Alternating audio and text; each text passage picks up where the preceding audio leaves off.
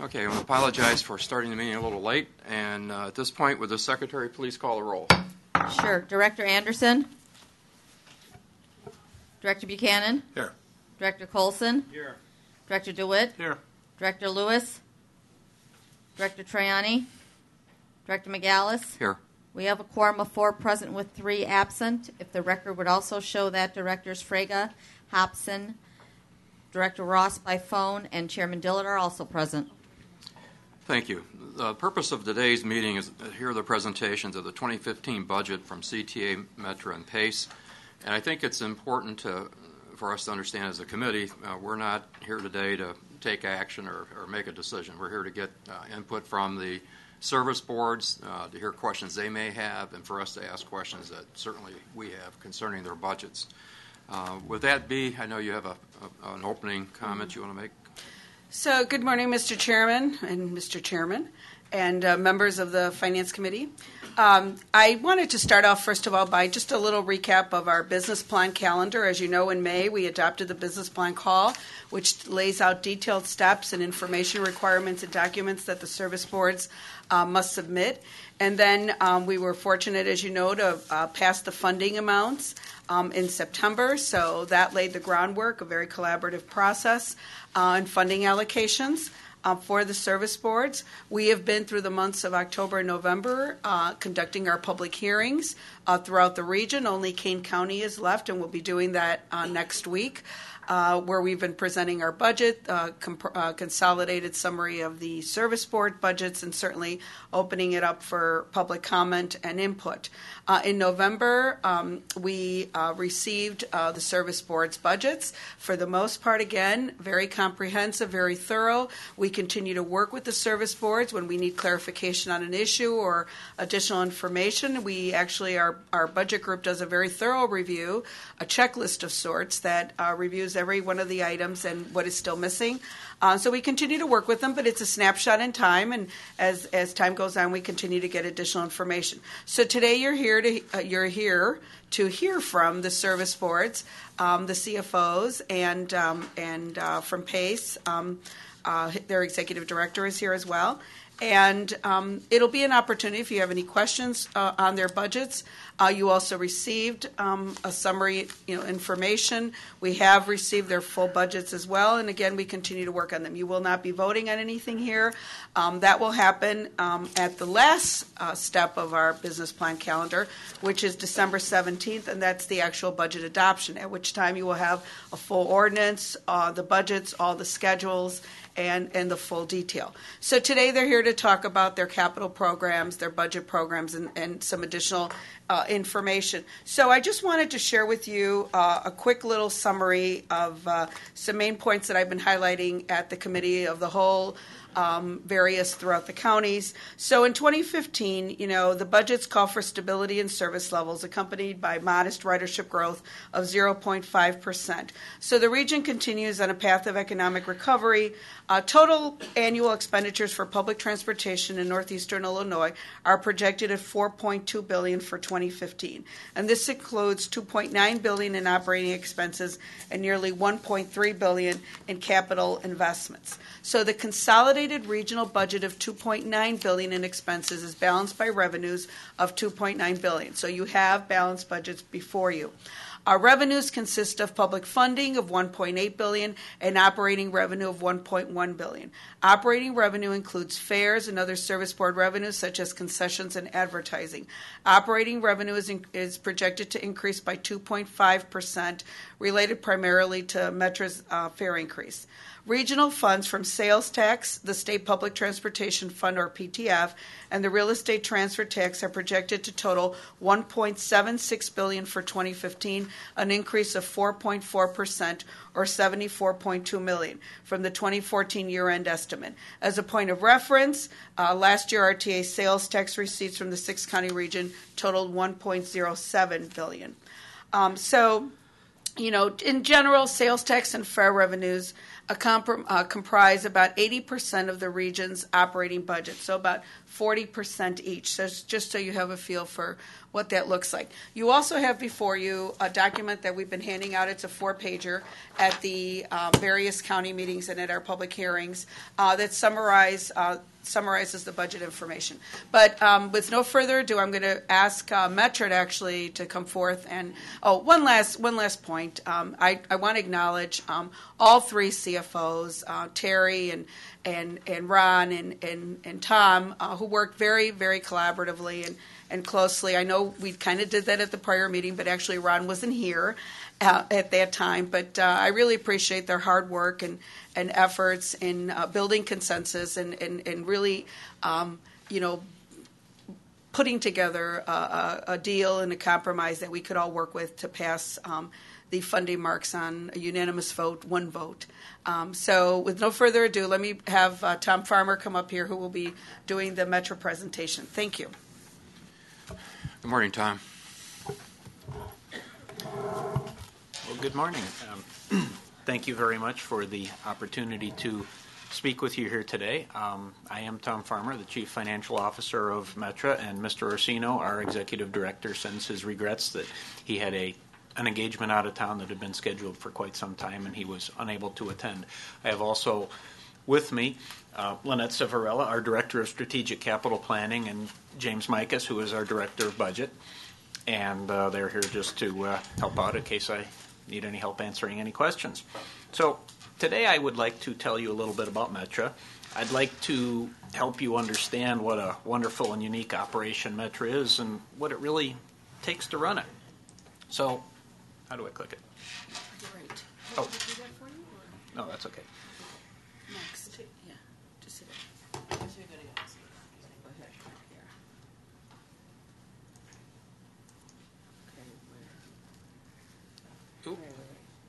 It's okay. I can get it. Okay, so where's the mouse? There it is. Slideshow. That one. There we go. Okay, and then this one. Good, thank you. So, um, about Metra. So today I'd like to tell you some facts about Metra. Metra operates over 750 trains a day, and we serve about 300,000 riders on 11 lines in a six county area. We directly serve 116 communities with 241 stations across the six county region. 76 of those stations are in Chicago. Our trains run on tracks owned by the freights, and they in turn run trains owned on, on tracks that we own.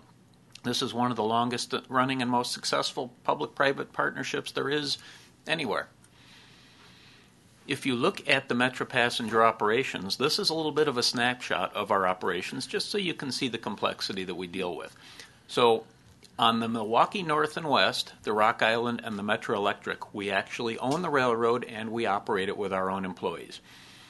On the North Central Line, the Heritage Corridor, and the Southwest Service, we operate trains that we own with our employees, but we run on somebody else's track and we pay them various trackage fees. And finally, we have four lines three Union Pacific lines and one Burlington or BNSF Railway line where they operate the railroad, they run the railroad. We own the rolling stock, but it's their people, and we contract with them to run it. No other commuter railroad has such a complex interface with the freight railroads. As I told you before, that we run 753 trains on an average day, and there are 600 freight trains on an average day. So for a three-hour period, twice each weekday during the rushes, the freight system in the city of Chicago comes to and the region comes to a virtual halt so that our trains can run around the tracks. So there's an immense amount of cooperation and coordination that has to happen with the freight railroad freight railroads each and every day so that our trains can bring our passengers to their destinations on time. So, getting into the budget itself, first some high level discussion. We have a balanced budget per the RTA Act requirements. We meet the recovered require, recovery ratio. Our operating spending is $753.1 million. We contemplate no permanent changes in service levels. We have state of good repair as a very key part of our capital budget, and our capital program for 2015 is $328.9 million. I would like to discuss fares for a moment. What you have here is a chart which shows three things. The solid line at the bottom of the chart is metro fares over a roughly 30 year period. The dotted red line is the average peer fare. And this happens to be for a zone ticket, but you know, different ways you crunch the numbers, it all comes out looking about the same. And the line, the green line with the small dots is the consumer price index. So what you see is that over time our fares have not kept pace either with the consumer price index nor with the pure railroads. And that is starting to show up in the fact that we are seeing a capital shortfall because we scrimped and saved for many years and that is catching up. So a key part of our budget proposal for 2015 is an overall fare increase of 10.8%. As a part of that, we will take the 10 ride ticket and discount it to the price of nine fares. The weekend pass price is increasing from $7 to $8. Monthly, tacket, monthly tickets are now valid until noon on the first weekday of the next month. And the one way ticket is now valid for 90 days instead of 14. In terms of performance, if you look at uh, performance, I refer to some of the studies done by the RTA, and they put out a lot of good work, by the way, uh, different studies and different analyses. The uh, RTA's 2012 sub-regional peer report said we were better than average in operating cost per passenger mile. We were best among the peer agencies. There are six agencies that are looked at, and among the peers in terms of operating cost per mile, we were the best, 37 cents versus a 47 cents average. If you look at miles between ma- major mechanical failures, we had 664 miles between failures versus a peer average of 505, despite the fact that our fleet average is almost 30 years old and the average is 19. So even with an older fleet, we're doing well with it, and we're very proud of that. So next, I want to take you to the operating budget itself. Our operating budget, as I told you, is $753.1 million. This is the breakdown. I won't uh, dwell on it in any great detail because it's already part of our budget submissions to the RTA. And I wanted to also show you that we have a complete package which is balanced in terms of the sources and uses.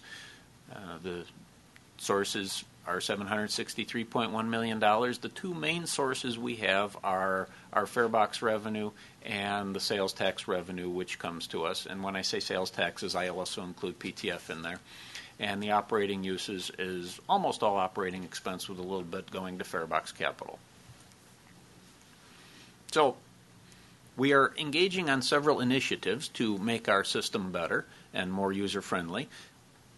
Key among those is our mobile ticketing initiative. So, why did we decide to go with mobile ticketing? Well, mobile ticketing is something that's very customer focused. The customers will be able to see, touch and feel it. It offers new payment options for them, which are much more convenient. We're able to use contactless credit cards or other credit cards. People will be able to use these cards on the train or at the station or wherever else they happen to be at what such time as they choose to make a ticket purchase. You have lower costs compared to the alternatives. You know, people have said, why don't you use System X? Uh, different systems are in place in different cities. Well, we have 241 stations. Each of them has a pretty good sized platform. If we had to fence and gate all those platforms, it would be very difficult. The other thing is that when you look at one of our trains, if it's full, you're talking about maybe 11, 1200 people on it, something like that. If we had some kind of a gating system where people had to go through that coming on and coming off, we'd delay things quite a bit. As it is when the door when the train pulls into the station and the doors fling open, you know, 1100 people pouring out, that's quite a rush. So we looked at this and we decided that mobile ticketing, which really relies on visual validation inside the train cars, was the way to go. If you look at the other commuter rail agencies, our peer agencies, they are really headed the same way. So independently, we have all largely gotten to the same place. There are a couple of agencies that are trying different things. We're all anxiously watching that, but the majority of them are seem to be headed down the road that mobile ticketing is the way to go. This is a picture of one of the design concepts. So what you have is a picture of a cell phone and a picture of what one of the tickets might look like. So this is a monthly pass and it would have various security features built into it to prevent counterfeiting. You would have the picture of the Chicago skyline that you see there, or whatever pattern happened to be up that day, would be moving. It would have different colors. It would have features where if you wanted to test it and you tapped the screen, the colors would change. You also have a code in the lower right hand corner. It just happens to say QR, but it's something that changes based on time and date, and that's according to a prearranged sequence so that we would know what that is, but somebody could never anticipate that up front. So there are several security features built in to make sure that nothing untoward would happen. If you look at the mobile ticketing agreement, which we have developed, uh, the agreement covers the development of the application. There is a hosted service, so we will not be hosting the service ourselves. That will be done elsewhere.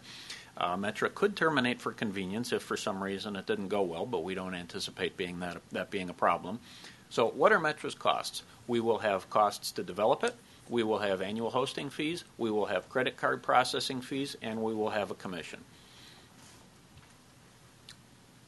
The other thing that we are doing is we are doing point of sale upgrades. As you know, we have legislation that asks us to, that requires us to be able to re, to accept contactless credit cards and that sort of thing.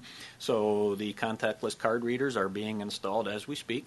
Uh, many of them are up and running already, and the necessary system upgrades have also occurred. So this it was a little more difficult than you might think. You know, you go up to the sales window and you see this little box and you say, "Oh, well, we ought to be able to change that out in five minutes." No, it's not quite that easy because there was a whole lot of things that had to happen in our foundation Oracle accounting system in order to enable that change to happen. But it's happening. They've been t- tested, so it's working successfully. So we're very happy with that. Next thing I'd like to discuss is financial stability. We need $9.9 billion over the next decade to main, achieve and maintain a state of good repair.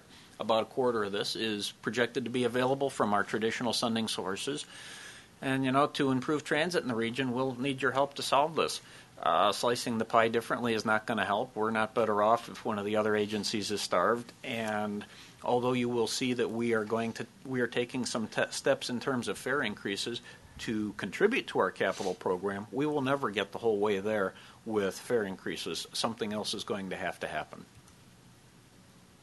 So, this is a quick look at our capital program. For the year 2015, we've programmed $328.9 million, and for the total plan period, we've programmed just about a billion and a quarter dollars. In the ICE program, we have seven different projects which we are going to be working on. There's the mobile application, just discussed. Green vehicles, mainly uh, hybrid vehicles, that sort of thing, to try and improve our footprint as well as come up with things that might have better wear patterns. Automated field IT systems to help us gather better, gather better data in the field with our engineering and other personnel special event services. This would be running other trains downtown for different events which we more, might not normally cover.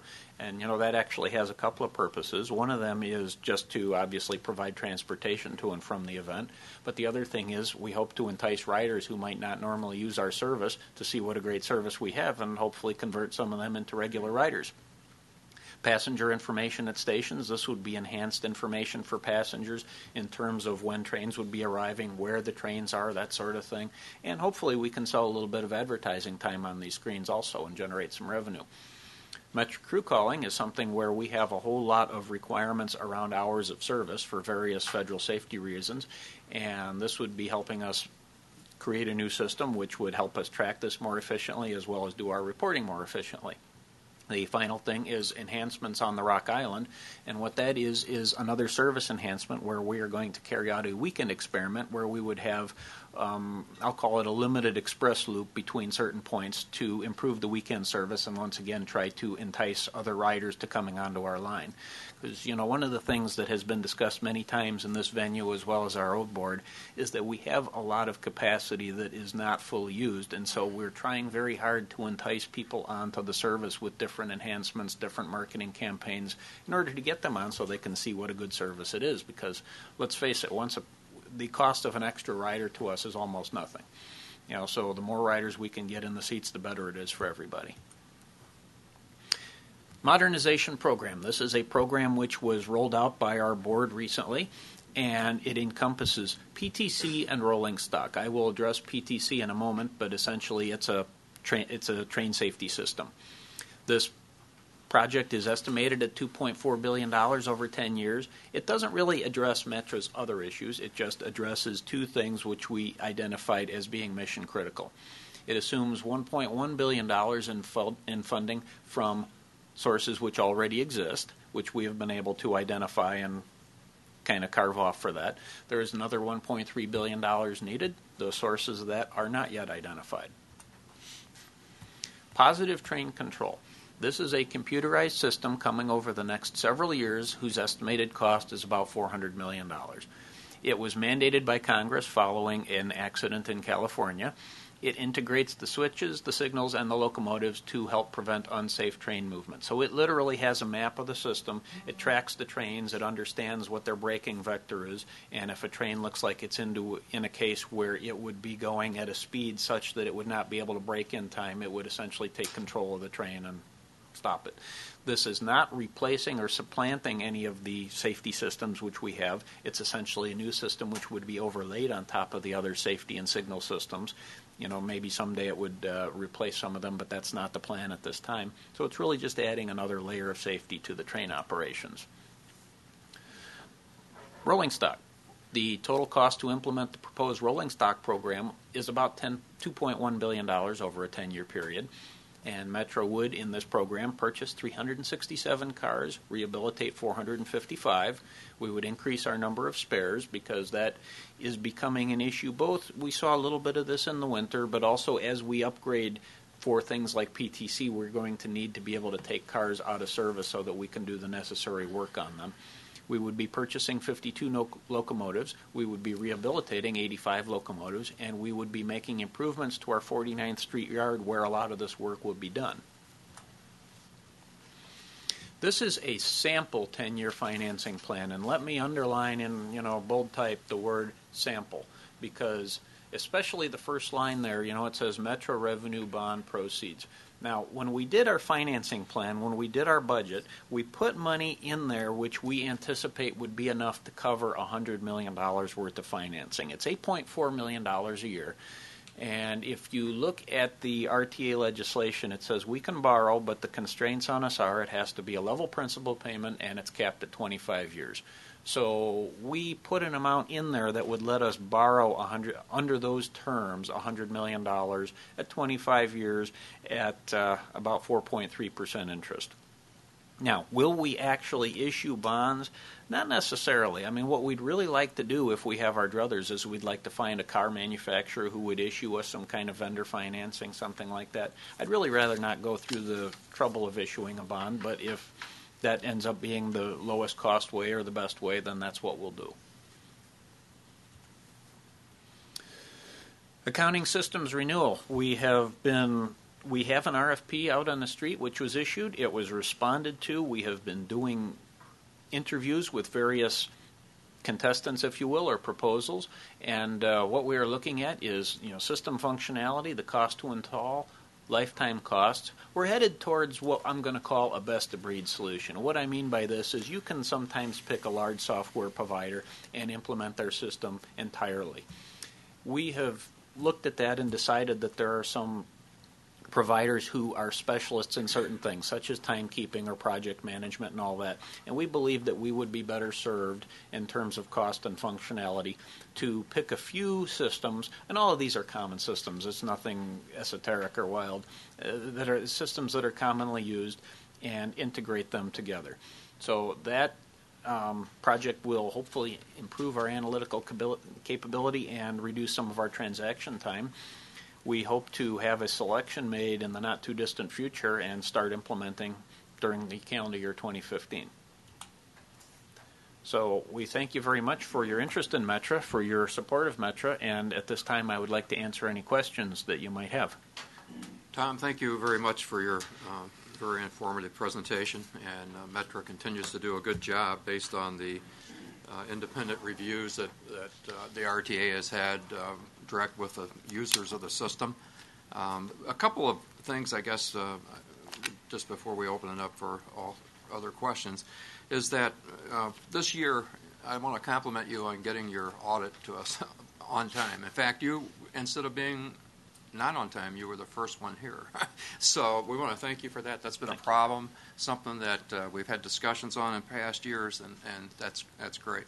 And also, uh, we're glad to see that you're moving forward with the financial system. Uh, that's uh, long overdue, as, as certainly you realize, and uh, it's going to be a tough uh, implementation process. But hopefully, once you get it behind you, it'll, it'll be something that'll really help everybody. Um, one of the things that everybody's been doing is holding public hearings uh, throughout the region, and I know that Metra has held a number of those.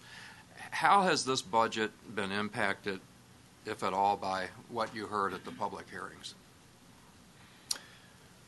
Um, when we had the public hearings, we had some people who felt that uh, they didn't want to see a fare increase. And we had other people who felt strongly that we should have a fare increase because they wanted to see the system modernized and they wanted to, uh, and they understood the need to pay for it. So, having taken all the uh, different comments into consideration, and our board does receive all the comments and they all do look at them, the board decided that the best course, given what they had been thinking about and given the public's comments was to proceed with the fare increase and proceed with attempting to modernize the system. So basically, the, the input at the public hearings dealt primarily with fare increase uh, as a as a concern or as a discussion topic. That that was a lot of it. Okay. The um, I guess the other thing from looking at a, a, budget of, of, the size that you have is that uh, one of the things that we're always hearing whether it be the quarterly reports or whatever, is the need to increase ridership. And how do you do that? And at the same time, the impact of raising fares will have on increasing ridership.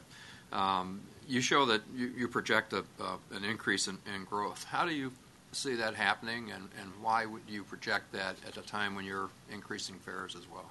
Well, um, so for 2015, we have projected a 1.1% decrease in ridership.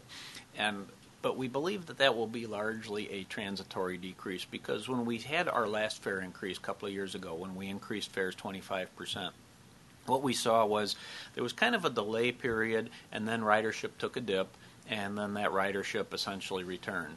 So, and, and you know, of course, there's a lot of things going on in the world. Uh, you know, the economic changes, job changes, people work from home, all that sort of stuff. But we have assumed that something similar would happen, that there would be a transitory leaving followed by a return to the system. Okay. I'd like to open it up to other questions and comments, and I have a couple more at the end. Uh, Director Coulson. I would like a set of these uh, slides, by the way, because we get a lot of questions along these slides. That would be helpful. Sure. Um, talked about uh, ridership and capital needs. Um, my train was 35 minutes late out of Glenview today, and they said it was due to signal problems. And everybody chuckled because we hear that all the time. Are there any? Is there any capital solution to this? Because this might affect your ridership as well. Um, every year, if you look at the capital program, we put a significant amount of money into signal upgrades. Um, the other thing that's happening is as PTC comes in, we are upgrading switches, upgrading other hardware as a function of that because some of the hardware needs to be upgraded with that. So we're continuously looking at the signal system and trying to upgrade it as best we can given our given our capital constraints. I would not expect until our capital needs are fully met. I would expect that you know we will continue to not have as modern a system as we would like.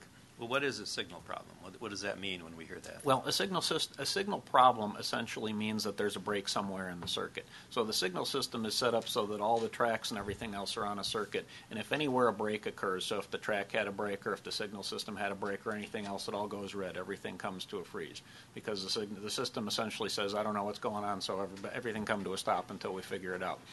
And then you chase it until you figure out what the issue was, and it could be just a um, you know, a switch. Uh, well, it could be anything. I wouldn't speculate. And so that's the way the system is designed as a failsafe. And you know, you will you will always see some of that because sometimes it is legitimate issues going on. Sometimes it is just a signal problem. It sounds like that could be cured by some new technology or something. Is that right? Uh, certainly, we could improve the number of instances that are there, but I don't think it will ever go away because, like I said, there are always real problems why the signal is down. Also, Okay, and then you talked about your relationship with the freight railroads. Uh, don't you also realize some revenue? I see the CP freights running on your line past Milwaukee all the time. Do you pay, We- did they pay for that? I assume they do. anybody who runs on our rails, we have negotiated trackage fees with them, and most of these trackage agreements are fairly long-term agreements. So, you know, one of the things that's been said is, you know, well, can't you charge them more? And you know, in a lot of cases, the answer is, well, maybe, but the agreement runs till 2038 or something like that. So, you know, I don't have a lot of opportunity to crack these agreements open. But certainly, as they come due for negotiation, we try to uh, negotiate a good deal. You know the ballpark of the revenue that Metra realized from the freight railroads? From trackage, Yeah. Uh, maybe thirty million. Okay, maybe maybe twenty million dollars a year. Okay, that's significant. All right, well, thank you. That's all I have. Are there other questions? Director Ferreira. Tom, uh, you talk about energy savings undertakings. Uh, What is it anticipated? Well, so one of our ICE projects is uh, the green vehicles. So we're hoping to move to hybrid vehicles, perhaps uh, also get into con- compressed air, or I'm sorry, compressed natural gas or other type of alternative fuels. And that, when I talk about that, I'm talking about what I call rubber tire vehicles. In other words, not, Not, not, uh, sort of not thing. your diesel engines. Right. Well, and so with the diesel engines themselves, we've done a couple of things. One is we've purchased recently three Model F59 locomotives. They have a different engine than the standard engine. Most of them run on an EMD uh, 12 cylinder engine, or I'm sorry, 16 cylinder engine. And we recently purchased, so it's a 16645, they call it in the trade. And we recently purchased three locomotives that have what they call a 12710, meaning it's a 710 cubic inch cylinder with 12 cylinders. And it has been claimed that we would see significant fuel savings from those. So we actually purchased a few so we can put them on the lines and test them and see if in our duty cycle we actually achieve this. And when I say that, what I mean is our duty cycle, because we try hard to maintain our schedule, is one of fairly rapid acceleration or rapid deceleration, which is a much different duty cycle than you would see in a freight going across the country where they get up to speed once and then they roll across the Great Plains at 70 miles an hour, and then they come to a stop uh, in California or something like that. So we're going to test those for ourselves. We are participating in some research on alternative fuels for locomotives, but frankly, I don't expect that to bear any fruit for a couple of years. The, the issue is one, finding things that are clean enough burning to meet emission standards, and two, finding something which is what we call energy dense meaning literally you don't want to have something that's so non-energy dense that you have to haul a tender around behind you or something like that. You would like something that you can fit in the tank.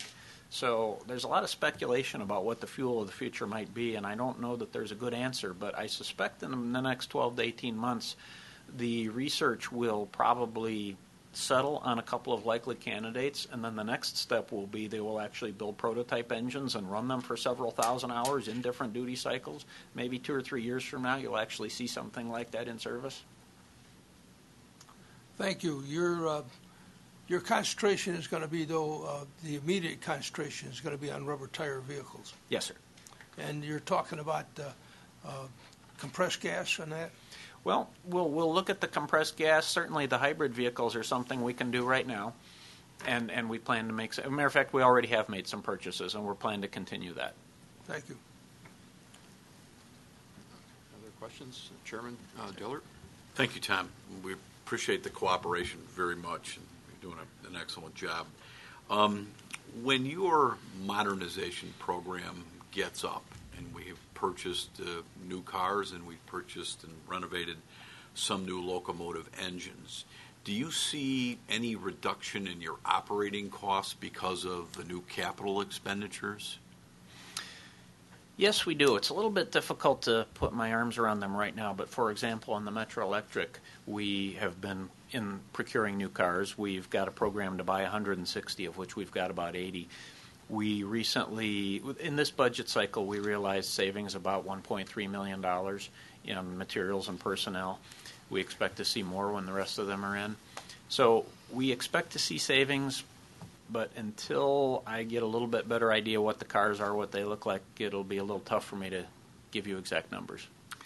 Um, on the issue of, of possibly bonding and going out for, for public financing of new equipment versus finding a vendor that might uh, have a finance agreement with you, what, what do you think will be your time frame? When will you know whether a vendor will uh, allow you to, you know, to finance, like like I buy a car or, or something like that?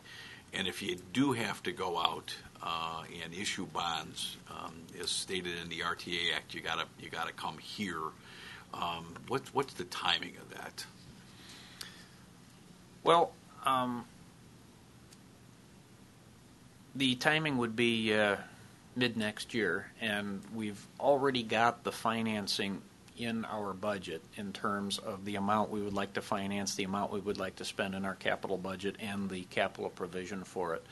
So I think we believe that essentially by approving our budget, you're giving your blessing to that, and it's a fairly it's a fairly modest request at this time. You know, like I said, it's 8.4 million dollars a year, which is you know easily covered within within our budget. So during the first part of 2015, that situation should crystallize.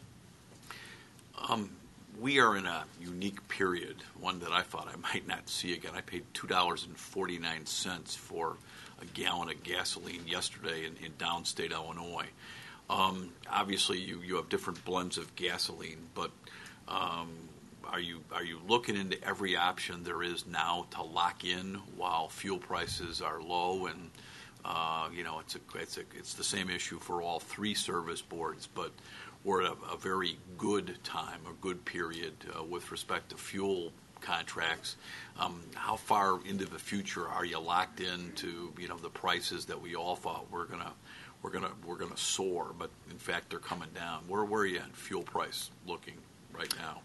Um, we're looking right now at perhaps uh, going out into the future. Right now, we have some contracts which take uh, about 80% of our budget through the end of this calendar year.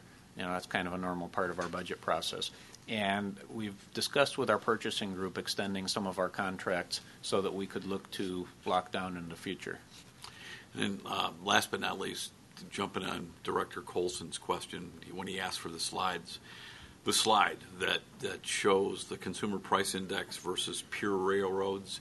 Um, I would run that baby in, in, in the byline newsletter that you have in every car all the time so that, that people understand um, you know that they're getting a good value on Metra, that our fares, even after the anticipated ones that are long overdue, are coming uh, where we relate to our peer railroads. I just think that one slide, more than anything else, helps educate the, the riders. Um, I had a man today when I was coming in uh, uh, from Hinsdale. Um, I'm sitting there and I'm in a, in a, lower seat, and he comes over. There's not a lot of anonymity when you're riding out of your hometown station. Uh, and he comes over and he sits next to me in the middle of a Cicero yard. We're doing what you want. We're going 70 miles an hour. And he says, uh, got a question for you. Um, he said, uh, you know, will the new cars yeah, and the fare is Tony increase? Anderson. My apologies for being a few minutes late. Welcome, Tony. Um, he says, you know, will it make a difference in, in terms of, of, you know, reliability? And, you know, when I guaranteed him, uh, you know, that it will certainly help. Uh, and it's long overdue. And he was fine with the fare, like most other riders I see, as long as we can translate it into better service uh, it's not even so much comfort; it is just more reliability. Um, you know, he was fine with the fare increase, but he just came up and you know, and I told him, you know, what what peer railroads are like, and that we you know, we're probably long overdue for the kinds of changes that we made. And then he got off with me, and we, I just sort of pointed out some of the cars that I know were purchased in the 19, late 1950s and said, you know, that car is as old as I am, and I'm old infrastructure. Um, so I'd, I'd lay that slide in the in the bi, bi level or whatever we call that newsletter, so that the real day-to-day riders understand, um, where where we are, especially compared to our peer railroads. But thank you so much for your cooperation. I know B and Leanne and, and the staff, Donna, uh, we very much appreciate uh, your, your, your willingness to cooperate and your candor. You've got a tough job. Thank you. Thank you. Other questions, comments? Yes, Director Hobson. Uh, yes, I have a few questions. Um, thank you so much for being here today. Appreciate it. Um, f- fuel. What percent of the total operating budget is fuel?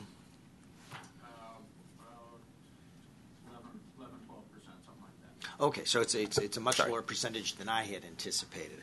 Uh, the the and, and how far has fuel prices fallen? I mean, in terms of a percentage basis, about ten percent, something like that, or That's fair. that's fair. Okay. Um, and then the Metra fare increase. Uh, what percentage of that fare increase is going to increased operating costs that you project, and what percentage going to you know capital or capital servicing? Um, we put one, so it was a 10 10.8% increase, and 1% of that was going to our capital, and another uh, 2% of that was going to uh, fair, what we call farebox capital, which is uh, pay as you go capital, if you will, as opposed to long term financing. And the rest was for either inflationary increases or increased maintenance spending because of the age of the fleet or to fund uh, the operating costs of PTC. Okay, so about oh, all right. Well, uh, so I was going to say seventy percent is due to increased operating costs, but you, you threw the PTC in there on me, and that uh, that threw me for a loop there. Uh, so that PTC is maybe another ten percent, fifteen percent. Uh, the PTC was 1% of it, which was uh, $3 million. Okay, so you've got about four percent, or, or I'm sorry, forty percent going to capital and sixty percent going to operating costs. Okay, fair enough. Um, also, this year, uh, through all all the uh, finance offices, RTA, and the service boards, you've uh, participated in a new budgeting process, which I think is great, and I think it reduced a lot of the uh, stress for everybody involved. Um, do you see? I mean, did that work well for you? And do you see any hiccups with the implementation of that as we move forward? I think it generally worked well. You know, every um, all the participants, uh, including the RTA staff, all you know, everybody worked well together, and I thought it went quite well. Okay, great. Thank you very much. Yes. Um, um, first of all, thank you for being here, and uh, I hope these questions weren't a function of my not taking Metra this morning because that was why I was late. I apologize. Um, um, first of all, on the one of the comments I hear quite frequently is lack of Wi-Fi, and I didn't know if you covered that in your comments, but do you have plans to install Wi-Fi networking on Metra trains? The Wi-Fi is being studied right now. We've got an RFP out, and we're evaluating the responses. And I would hope that sometime in early next year we would have answers to that, but I don't have one right now. Okay, because that is something that a lot of riders do comment about, and it would really enhance their experience because they could work while they're on the train. Um, you talked about the off-peak fare, or actually the capacity that exists in the system, particularly during the off-peak hours, and uh, plans to try and bring more riders onto the Metra system. What are some of the specifics in that regard? Are you still in the early stages of formulating what your plan will be? Well, so essentially we're running just as full as we could possibly be with trains running into the city during the morning rush hour and you know kind of the opposite the trains are about as full as they could possibly be running out of the city in the evening rush hour during the rest of the time there's um, a fair amount of slack and there's a few things happening right now the first is we are doing radio and tv ads to market the Metra service the Second thing is we are doing the promotional campaigns that I discussed earlier. The first one is the enhanced service on the Rock Island to try and entice people into using our weekend service, um, trying it there. And the special event service is something that will come in from all corners of the system. Hopefully, people will ride us for a special event because for various reasons it's difficult to get downtown by car and just realize that we have a good service and continue to use it. So those are the things we have going right now. Is there any plan to, to use like price as an incentive? Because a lot of times, if you make the price low enough, somebody might take uh, the Metra system, um, say on the weekends or in off-peak hours. So next year we are we have an RFP in process right now to study our ridership, which would look at our zones, our pricing patterns, all that sort of stuff. And we hope to use the results of that study to guide us in anything like that. All right. Time, two more questions and I'll be done. Um, Can, I- we- can I, Tom, but also, I mean, your weekend fare is a discounted rate, so you do have a reduced weekend fare and you, you have different pricing for other things like that as well. Yes. And it, um, it's not a ridership study, it's a fare pricing study. Yes. Yeah, I, I, I misspoke. It's a fare pricing study, not, not a ridership study per se. The uh, earlier uh, we had had conversations about um, the need for uh, equipment and the conversation about lease versus buy. Um, that was being studied uh, to determine whether or not that was a viable option for Metra. What's the status of that? Well, as the as I discussed the plan earlier, we are going to go out with RFPs to equipment vendors, and we're going to ask them for kind of a two prong proposal. The first one is going to be what can you deliver and at what price in terms of the rolling stock, and then the second one is going to be what financing options are you going to offer us. So we're going to ask them to provide us anything they might be able to give us in terms of equipment leasing, in terms of uh, financing themselves, other options like that. So we will evaluate all those when they come in, and we'll pick whatever is the cheapest, frankly, at least in terms of the financing. So it would be through dealer financing as opposed to third-party lease financing. Is that correct? Uh, one of the options that we would hope that they might pursue is pairing up with some kind of a bank or a financing company. Certainly, we know that many of the big manufacturers are already more or less lined up with banks, and they have had discussions, but it's been no more than idle chat at this point about going to that bank and asking them to team up on a financing package with them. Great. Uh, Thank you. Finally, um, and this is a question I'm going to have for all the service boards. It- uh, Your supplier diversity program, how effective has that been? Are you pleased with the results? Um, Are there steps to improve it? Um, Anything you can share in that regard? You've asked a question that's kind of out of my field of expertise, and I'm going to have to ask somebody else to get back to you with an answer. Okay. Well, Thank you, John.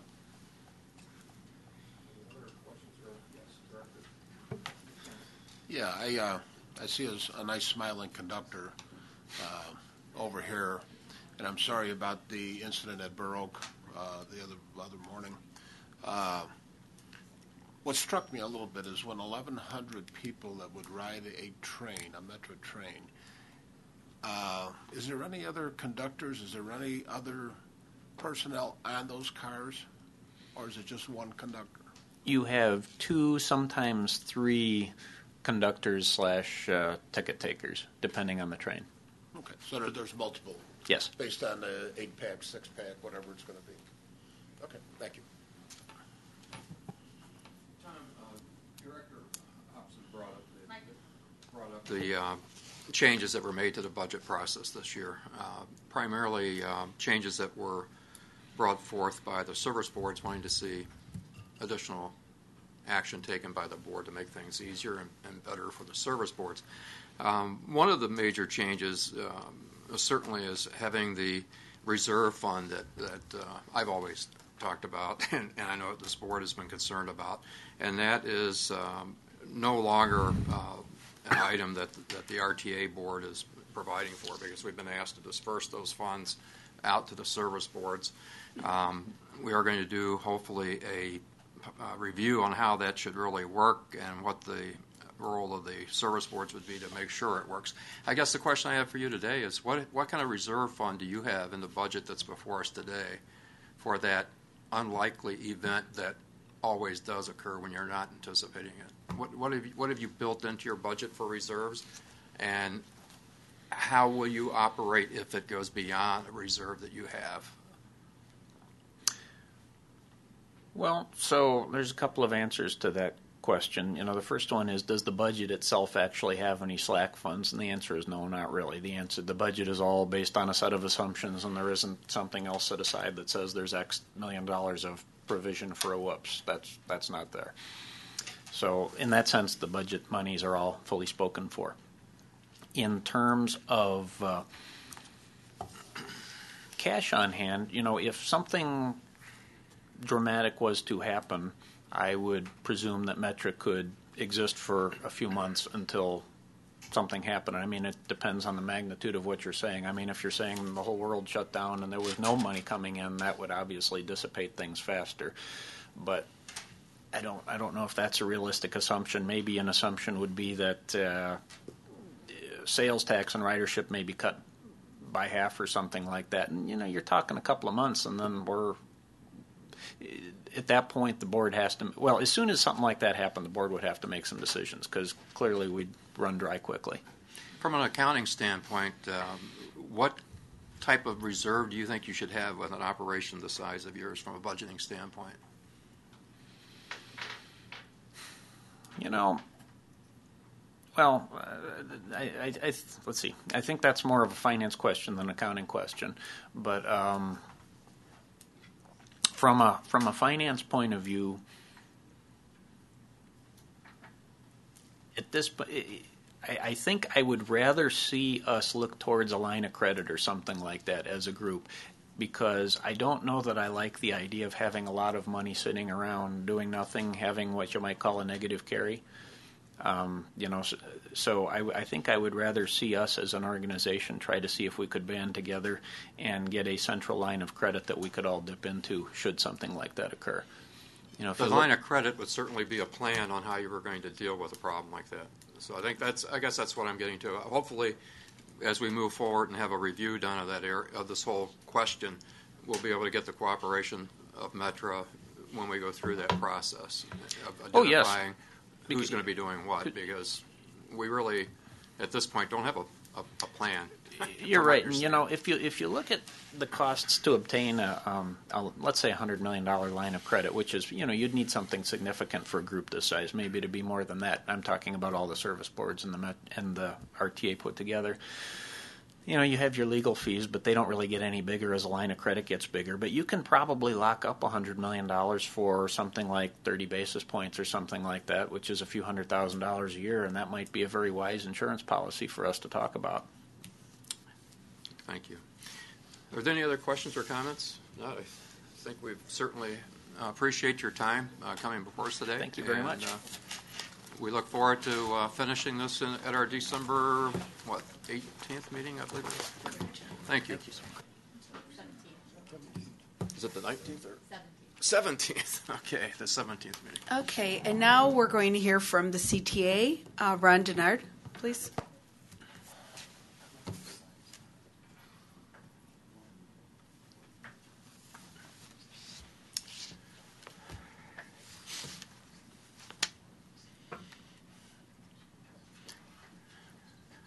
Good morning and welcome, Ron. Thank you for coming. Uh, good morning, everyone. Ron DeNard, CFO for the CTA. And, and I first want to start off by really thanking uh, the other CFOs and specifically uh, Bea Reyna-Hickey and her staff with this budget process because they work very closely with us and, and were very instrumental in making the process much smoother.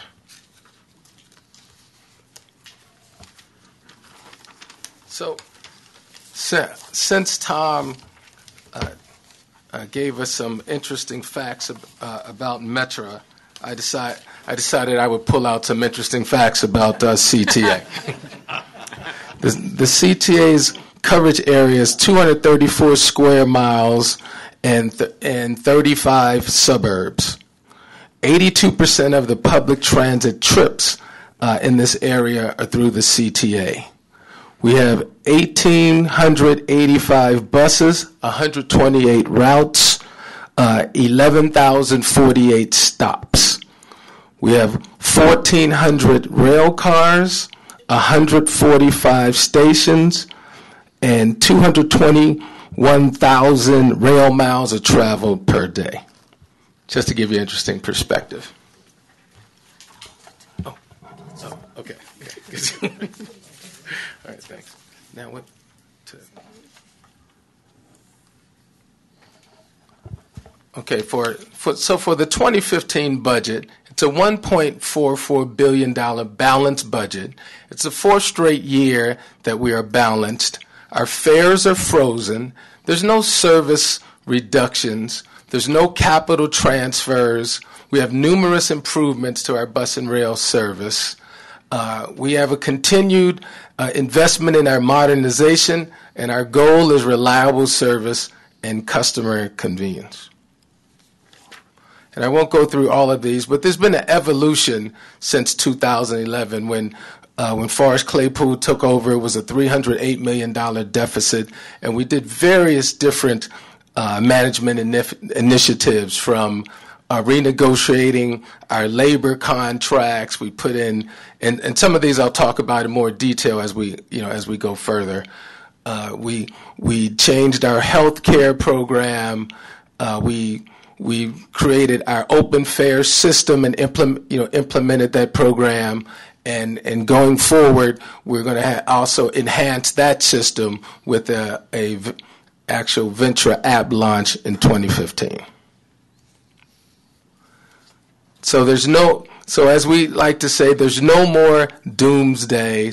And also very important, there's no more transfers from capital to operating budget. We we manage our operating budget, and since 2011, after 2011, there's been no transfers from capital to operating. Now I'll have uh, Tom to go through a few of our initiatives that help us with these balance, help us be able to balance our budget over the years. Uh, thanks, Ron. Tom McKone, uh, VP of Budget and Capital Finance. Wanted to go through some of the, the major items that are, are delivering savings to help us achieve this balanced operating budget. Uh, many of them will be familiar to this board because they've been a part of prior budgets. Uh, the first is uh, the labor savings. So, through the negotiated labor agreement, the first one in, in decades, we achieved uh, savings in the, in the wage gro- growth and also savings in the, in the health care program, and those have materialized to help us realize this balanced budget.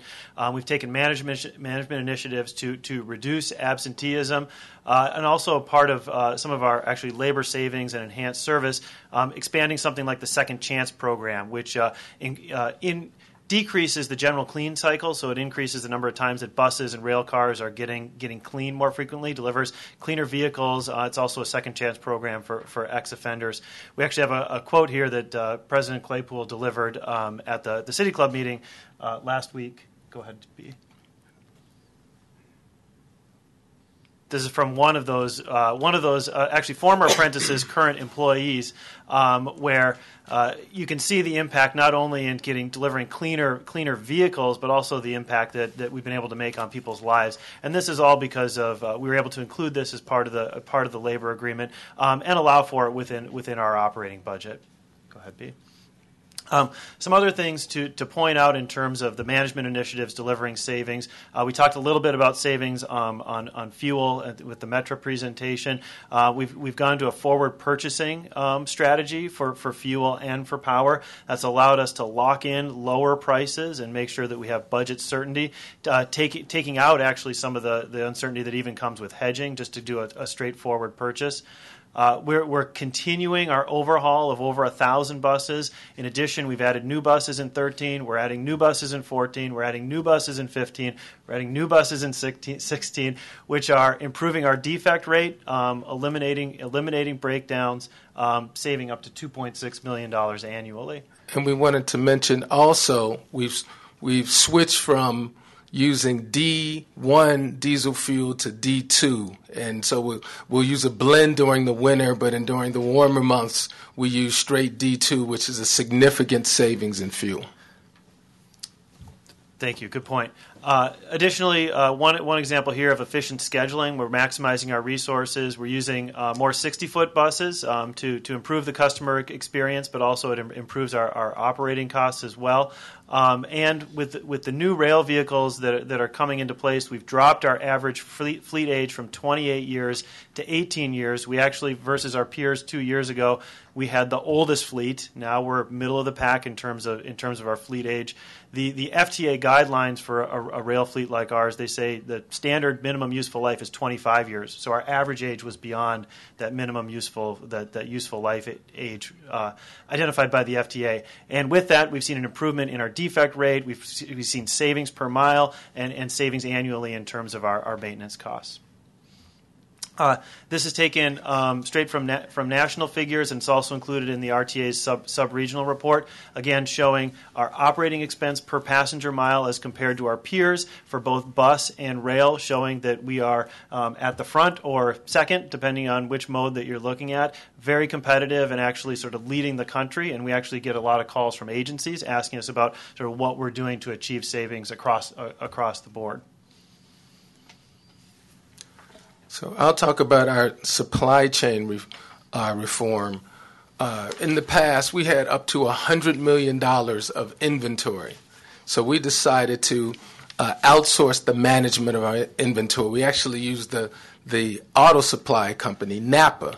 So Napa actually buys our inventory now. So we say both from a cash flow standpoint and also they manage our inventory. And we've been able to bring our inventory down from $100 million in the past down to uh, $50 million. And you can see from the pictures how we had a lot of excess and old inventory, and now we've sold it, cleared it out, and Napa now manages and carries the balance and that's just a graph showing uh, the decline in inventory. Uh, another way that we that we are trying to be more efficient, we have been increasing our advertising revenue. So we have a, a firm uh, that we use, a Titan Advertising, and they have been increasing our advertising uh, every year, also using digital advertising and you may have seen around the city, they've put up what we, what we call these urban panels, and where they advertise around the city uh, also. We've increased our parking rev- our revenue, we've increased the minimum average guarantee for 2015, and we've also increased our, our concession, concession contracts. So from and so uh, just talk about some uh, aspects of our what we call customer service. Uh, we've networked over 23,000 security cameras, and those cameras have also helped reduce crimes on the CTA, and sometimes they're used uh, in solving crimes around the CTA. Uh, all the rail sta- stations now have the train tracker digital signs, which our customers love, and there's also bus tracker signs that are around on some of the bu- uh, bus shelters. Uh, our we insourced our rail station uh, coverage, and we now have hired a thousand new uh, customer service agents that help people out when they go to the stations and answer questions. Uh, and we think that that's been a very successful, and it also say, uh, saved us money. And we've uh, completed our transition of, of Ventra, uh, and you know it's a, a, open fare system, and it allows our our customers to use the same card on whether it's uh, CTA, PACE, or they can even uh, use a credit card if it has a blink technology. That's just a picture of some of the uh, train tracker signs. That's one of the ur- first urban panels, and we also have, of course, our, our mobile apps. Yeah, th- these are pictures of our new uh, our rail rail cars and, and, the bus fleet. You know, we're upgrading the fleet. Uh, you know, we have over 1,300 rail cars. You know, we're over 1,400 at, at this point. Um, and then you can see that you know with our with the overhaul process and with the delivery of the new buses, we have essentially a, an, an, all new um, fleet within the within the next few years.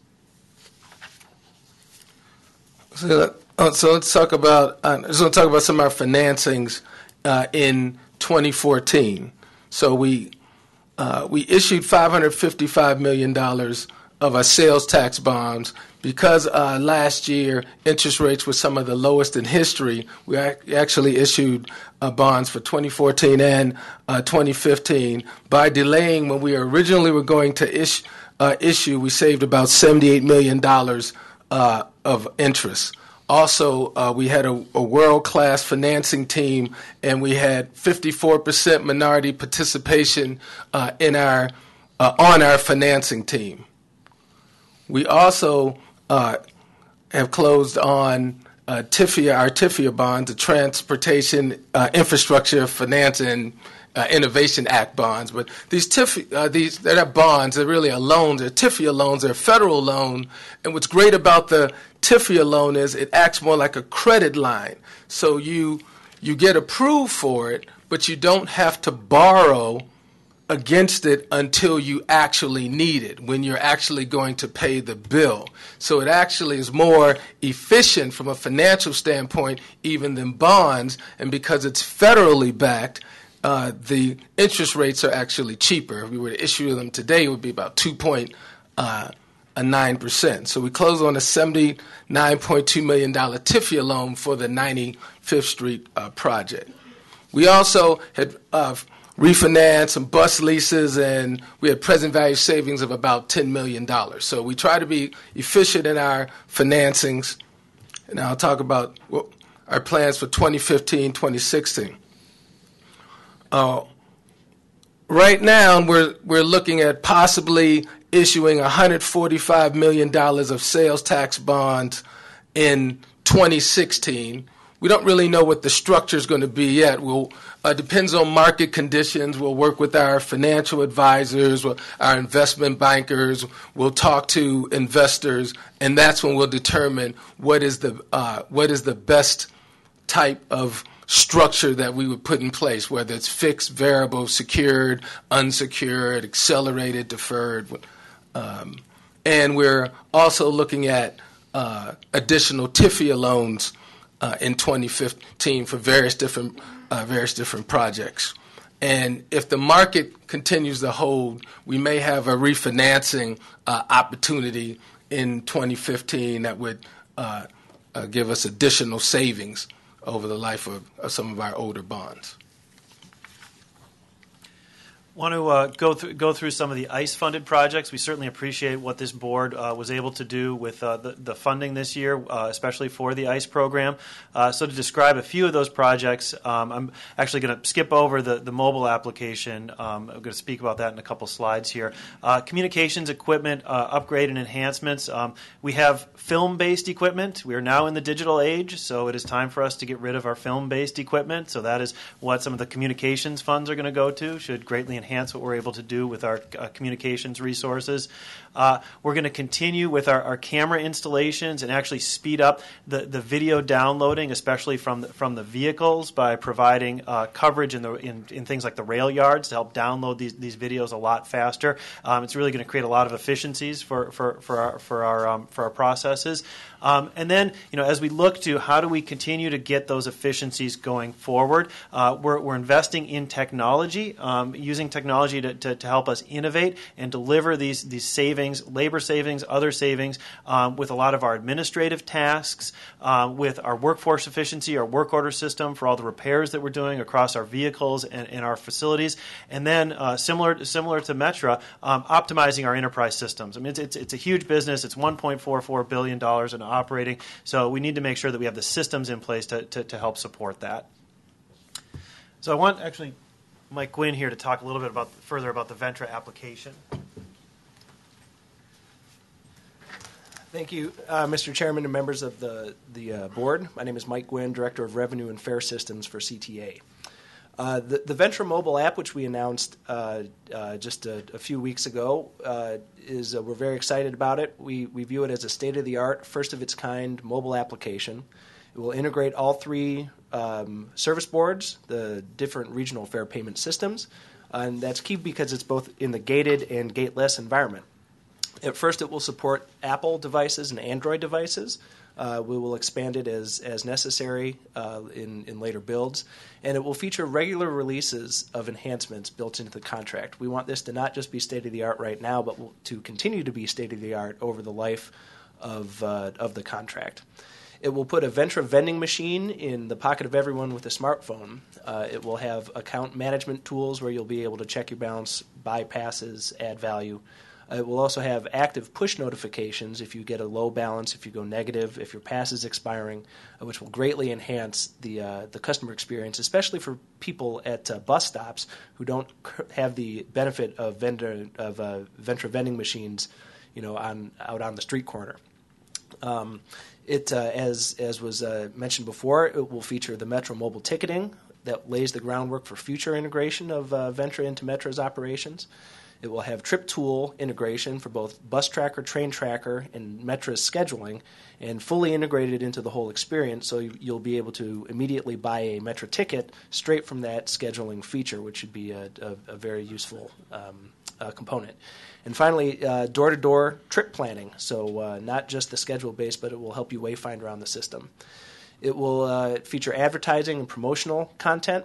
Uh, and uh, in future releases, it will have uh, the ability to download a virtual Ventra card. So your mobile phone will turn into that silver Ventra card, and you can just tap it on a reader uh, on a bus uh, or at the rail stations uh, and, and be on your way, turning your smartphone into the truly universal fare card at, at that point.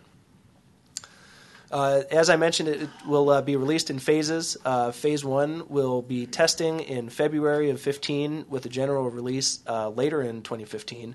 That will have the account management features, the push notifications, and Metra Mobile ticketing. Phase two, which uh, we anticipate later in 15, will have uh, trip tools, the tracker based information, as well as some additional Metra enhancements. Phase three, which also is later in 15, will have that door to door uh, trip planning, and then phase four, which is in later 15 or early 2016, will have that virtual Ventra card. Uh, but these are just the planned phases. As I mentioned, this will be a living application. We'll take advantage of new functionality that comes on in phones and in operating systems. Uh, so we'll have future phases rolled out over the life of the contract. Thank you. Thank you, Mike. Thanks, Mike. Uh, wanted to also provide the board uh, update on on ridership, uh, rail ridership, as uh, in, in, forecast and forecast within our budget documents. Um, in 2014, it's expected to be the highest um, since we actually began keeping modern records in 1961. So rail ridership has been uh, very very robust. We're seeing the benefits of the investments that that we made in the system.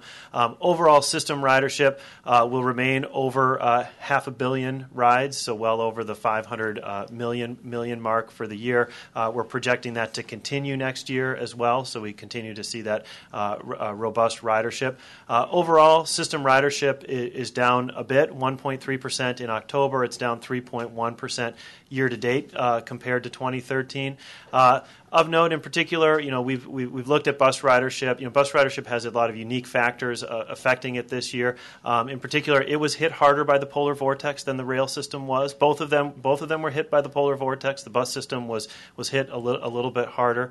Uh, we know that the, the, the price of gas is dropping, continues to drop. Um, you know, uh, auto vehicle trips, the price of gas actually affects uh, bus a little bit more than it does rail. That's primarily because bus trips are a little bit shorter.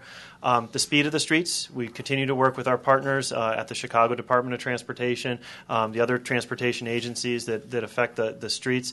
Um, we know that um, streets are getting slower. This is a phenomenon that's happening across the country, um, and we need to look at ways to, to, to, to, speed them up. And we continue to do that, and you'll see so, some of those uh, programs coming into place next year with things like the Central Loop BRT system. Um, alternative transportation options, this is something that uh, we've actually talked to RTA uh, staff about. There are more alternatives out there today, um, from from Divvy to Uber to other to other methods of getting around. We know that you know the bus and, and the automobile are com- competing with more other factors. Um, and last year, you know, 2013 specifically, as you compare it to 2014, you know, we, the Red Line South was shut down for five months. We had free bus shuttles in place. We had a 50 cent fare discount um, south of 63rd Street. So a, a lot of those inflated um, some of the bus numbers last last year because because of that. So comparisons become, between 13 and 14 become a little bit more difficult because of that. And actually, of note, in 2014, we actually had 10 fewer school days in 2014 than we did in 20 in, in 2013, and a lot of that was because of the impacts of the of the strike and how that shifted the school year in in 2013. And we know that on school days we actually experience quite a bit more bus ridership than on than on non-school days. Um, and we continue to, to, talk to our partners, um, uh, national partners, and this is you know a lot of them are seeing similar similar things in terms of uh, their bus system and, and their rail system. So um, that's that's where we stand um, with ridership today, and we're projecting slight increases next year, uh, more on the rail than than on the bus, but we think some of these one-time factors will, will, will go away next year. I'm not going to go through all these capital program highlights. Uh, it was one of the, d- the discussion points we wanted to go through. Just show, hey, this is a lot of what's out there: vehicles, investments in infrastructure, investments um, across the system in, in stations. So uh, on the next few slides, we'll show you some pictures of some of the, the big pieces of the of the capital program that are coming into place next year. So go ahead, B. Uh, the upgrade uh, of the subway cellular system to 4G, um, which will provide cell phone coverage, um, not at 2G, but at 4G on the platforms, and then throughout the tubes as well. So it's a it's a it's a really big enhancement for our customers in the subway system. Uh, next slide. Uh, Wilson Station renovation, where there's been a little bit of preliminary work done, done there. Next year, you know, pushing much much bigger into renovating the Wilson Station, making it a modern transfer station and a, and a, and a much bigger uh, community asset as well. Next slide. Uh, reconstructing the 95th Street terminal, so go, building two buildings there across each side of, of 95th Street Station. Uh, this is the, the largest bus terminal in the system. It's the fifth largest rail station in the system, um, well deserving of, of, of an upgrade for us. Um, houses not only CTA but also PACE um, and some of the um, uh, countrywide bus systems like Greyhound as well. Uh, and then here, uh, continue planning for red purple modernization along with the red line extension. So this is an image of one of the, the stations there. Go ahead, B. And then this is the central loop BRT we mentioned. Just again a conceptual drawing for some of the, the improvements that we expect to see um, continuing uh, continuing on the system next year. So, so what we really, what, what all this means to us is we, we provide transportation. We have the support of, of the mayor. Uh, we appreciate the support of the RTA and its board. We, sup- we appreciate the support of our board. Um, CTA, we feel, brings job. Good. Well, we'll put it this way: good transit brings jobs to the reason to the region, and CTA also creates jobs. That wasn't.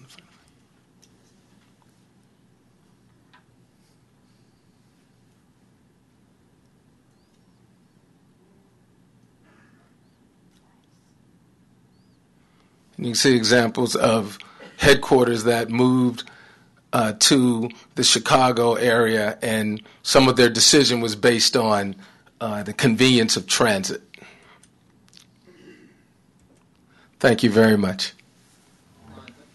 Thank you very much uh, for the excellent uh, presentation. And again, if we could get copies of that, I think it would really be beneficial. Yes. Having uh, been involved in the budget uh, back prior to the 2011 dates that you were talking about, um, I can only echo what you have said. Uh, the achievement that you and President Claypool and your board have made since that time are absolutely uh, commendable. I mean, when when you mentioned the word doomsday, that's the way we would start our budget process Mhm. back in 09 and 10. It was always the doomsday. So you guys have now become the doomsday slayers because we don't have that anymore. And I think that's I can't tell you. I mean, what an accomplishment that is, especially looking at all the things that you've done since 2011.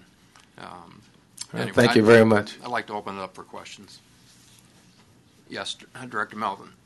Uh, Thank you, Mr. Chairman. Yeah, congratulations. Uh, Great report. And uh, thank you so much for giving us some context in the beginning and then taking us through the history to remind us of where you've come from. Um, Just good work. And uh, as I was on my way in here, I ran into a buddy of mine who uses CTA every day, and he just talked about what, what a, he feels it's a better value than ever, actually. So uh, I think that's consistent. Um, and when I use the buses, the buses are much cleaner, and I like that a lot. Uh, one thing I do want to say is that on that transaction that was 54% uh, minority participation, it's generally considered that that was a very well placed deal. Um, so it's very, very well done and very well received by the marketplace. I just want to make note of that. Uh, congratulations. Thank you. And thank you. And uh, ana- anecdotally, you know, we actually, besides rating agency presentations, we actually did investor presentations, and we went uh, and talked to J.P. Morgan, who initially wasn't going to participate in the deal, and after talking to them and talking to them about uh, the the strength of the region, they actually came in for hundred million dollars out of the the five hundred fifty five. That's great. Yes, Director Lewis. Ron, excellent presentation, and with uh, Chris's questions, a perfect opportunity for me to ask my question about supplier diversity. Uh, obviously, that was um, part of what you did on the bond issue, and it it improves the um, overall quality of the product. Do you have a minority supplier diversity program in place, and how has that been um, uh, utilized over the last year, and what's the plans for the future budget? Uh, and it's not my area of expertise. We do have a supplier diversity uh, program, and it is very important to the agency. And we will get back to you with, uh, you know, with figures. But um, I I can at least brag about the transaction that I, you know, that that I had control of and had fifty four percent. It's something to brag about for sure. Um, my last question would be uh, in the budget, uh, you talked about financing and um, increased financing possibly going forward. What percentage of have you uh, allocated in your budget um, funds for uh, debt service and increased coverage numbers, and what would that look like? Uh, uh, yeah, yes, we have. We always monitor our debt ser- debt service, and we look at different structures to see how it would impact us uh, uh, in the future. So we'll look at different scenarios. Uh, you know, our next uh, we'll either close in we some TIFIA loans in 2015, and we look at that scenario. And in 2016, we're looking at sales tax bonds. So we always run different scenarios. Just roughly, how much was that in the budget? So, so you have a our bonds are paid out of two sources. You know, most of them are paid out of the capital program, right? We have GARVEE bonds and, the, and those, and, and, that's in our budget book. We can give you the details on the specific amounts that, that are paid out of there. Um, off the operating budget, we have the pension obligation bond, um, which is our roughly $2 billion bond that was issued several years ago for the pension funds. Um, and that's roughly $156 million every year that we pay out of operating. Um, the TIFIA transaction that did close, um, the 95th Street station transaction, that one is um, that one is the, the debt service begins in 2019 and 2020 at the as, as our bus lease um, expires. So we fit the debt service at the end of that, and we work with the federal government um, to make sure that that was a model that fit that fit with them. Yeah. So as the lease rolls off, then that's when the TIFIA rolls on. Yeah. Director Hobson. Hi, thank you very much. Um, two questions. One, the uh, app mentioned earlier by uh, Metra, is that uh, I hope it's the same app that you were talking about, the Ventra. So we've just heard about the same app from the two different agencies. That's wonderful to hear that that's just yes. one app. Uh, my other question is that you know we uh, look at the underemployment number. That number remains high, and that doesn't uh, help bus ridership. Uh, we look at the consumer fuel prices; those are down. That doesn't help bus ridership. Uh, 2013, uh, bus ridership was down. 2014, bus ridership was down. So all you have all these factors that are, you know, not in favor of increased bus ridership. Yet you forecast an increase in bus ridership for 2015. Um, how do you reconcile that? Yeah. So. Um, so we know that you know 2014 is lower than we had projected, but we had when we if you look back at our figures in 13, we had projected an increase in rail and a decrease in bus. Um, the magnitude is a little bit different, but system wide, um, it sort of fit, it fit with our with our expectations. Again, because of the, some of the specific one-time impacts we see happening in 2014, um, you know we you know we assume project that for the most part some of those are going to go away, like the polar vortex or some of these other um, items. So we think that the bus ridership is going to hopefully right knock on wood right exactly exactly. Um, yeah, knock on wood that that goes away. And and the bus ridership increase is very modest, four tenths of one percent. So I'd say we're being relatively conservative even within that. All right. Okay. Thank you very much. Uh, other questions, uh, Director Coulson. Uh, a couple of questions. Uh, I noticed in your budget documents that the average CTA fare is a dollar and thirteen cents. And it seems to me the public needs to be reminded of what an incredible bargain they're getting in the CTA. And the day will come, I'm sure, when you're going to have to raise your fares. And if you do, remind people that it's only $1.13 for, for a long time. That's remarkable. It is incredible. Um, nothing is going to kill your ridership faster than if the public perceives your system as unsafe. And so you talked a little bit about cameras, and you're spending, I think, 14 million on security for next year. Um, as cameras get smaller and cheaper, do you have cameras on every rail car? Or is that too much? Yes, we do. So, and that's why actually we have the ICE funding is actually to enhance that, so to add a few more cameras in, in, in the vehicles, but then also because now we have coverage within all the rail cars, that's a lot of video. So we want to, we need to be able to handle that video as it as it comes in, and so that's that's the whole project that we that we've applied for. And you ought to perhaps have signs reminding people that they're on candid camera because that would be a deterrent. I don't see signage everywhere reminding people of that. We, and people would feel safer if they were reminded that there are cameras, I think. Um, there's a strange thing in our statute um, that says uh, triggers your abil- the CTA's ability to get any money, and that requires the county to provide $5 million to the CTA every year. And I noticed that's not in your budget, on uh, at least the documents we have. I, I am told that that has been done, though. Is that right? Yeah, uh, so we have we're actually we're required from by our statute, and then it's also written in the RTA statute to get five million dollars from two units of government within within the county. So, and actually in our statute, it requires Cook County to pay two million and the City of Chicago to pay three million, and we, we classify those as statutory required contributions um, in our budget document. So they're there. We've got the checks for this year, so so we've got them in this year. So Okay, good. And uh, a lot of people that live in Lincoln Park are concerned about your uh, your proposed Belmont flyover, which I think you call the Ravenswood crossover or something.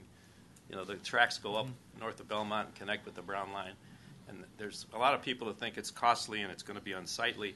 I noticed there's nothing in the 2015 budget on that project. What is the status of that project?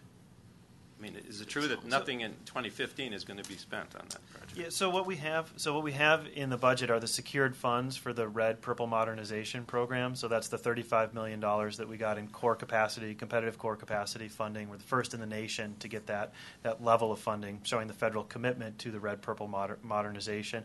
Um, those funds, along with the local match that's required of them, um, are provided to continue the planning process and preliminary engineering for the project, and then all of the designs, all the alternatives um, are considered as part of that planning process, the environmental impact, impact, the environmental assessment, all of that. So that is within our budget in the capital in the capital program. But it's not, a- it's not a done deal either way. I mean, you're going to have to make a judgment call as to whether it's worth doing that at Belmont right, at some point. Right, because the funds we have now are for the planning process and for preliminary engineering.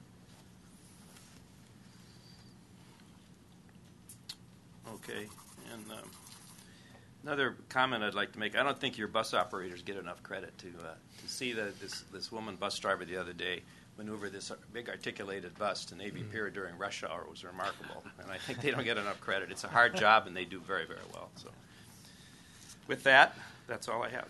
Thank you very much, and we'll pass your sentiments about the bus operators on. Chairman Dillard.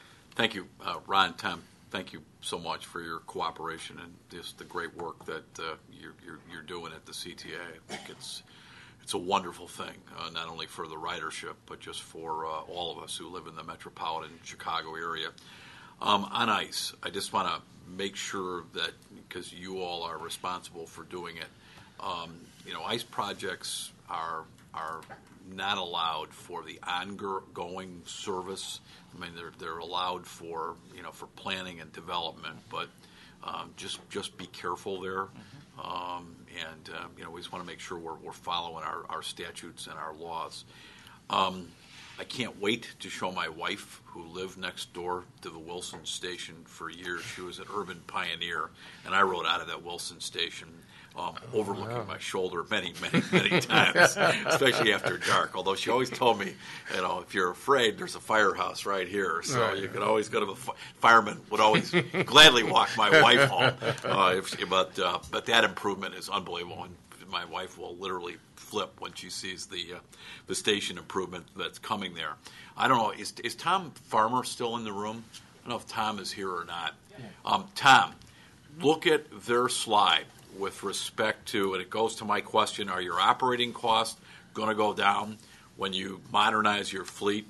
A 60% reduction in delays, just be, the way they have improved, um, you know, the, the L car or the, the L's fleet, um, including a 9% cost reduction in operations per mile. Um, those are stats you at Metra um, ought to use. I mean, we're all one system and we're all one brotherhood and sisterhood here. Uh, but those stats from the CTA, I think, will really help your make your case with respect uh, to what you're doing for uh, you know what you're doing at Metra. Um, I want to thank you too. One thing you didn't mention today, and, and, and President Claypool had me over uh, for a press conference with respect to the fraud, fraudulent use of, of cards and ticketing. Um, first of all, it saves money and it's a fairness issue for those riders who really pay the dollar thirteen cents per ride. Um, that uh, is a bargain on the CTA, but um, I very much appreciate what you're doing and the way you look at, at fraud, but it's fairness for your riders and um, the cooperation of, of President Claypool and all your staff is is is greatly greatly appreciated. Last question, Lucas Museum obviously been in the news a lot. Um, if if the Lucas Museum is is built on the site that is there, I could care less what it looks like. I do care what it looks like, but that's not an issue. If it's built on that site, um, what kinds? Of, I know you have some green line changes that are that are that are going on down there, but what will that entail for the CTA in terms of, of any additional capital needs? So, so we're we're always in discussions with the city, and the city's really taking the lead on the development of it and the, and the, and the access to it. You know, I think we know from our discussions with them, the location is transit friendly. So, I mean, it's near Metra and it's near CTA. So, and I think that that helped with the site selection. But we continue to be in dis- discussions with the overall infrastructure for what's needed for that site.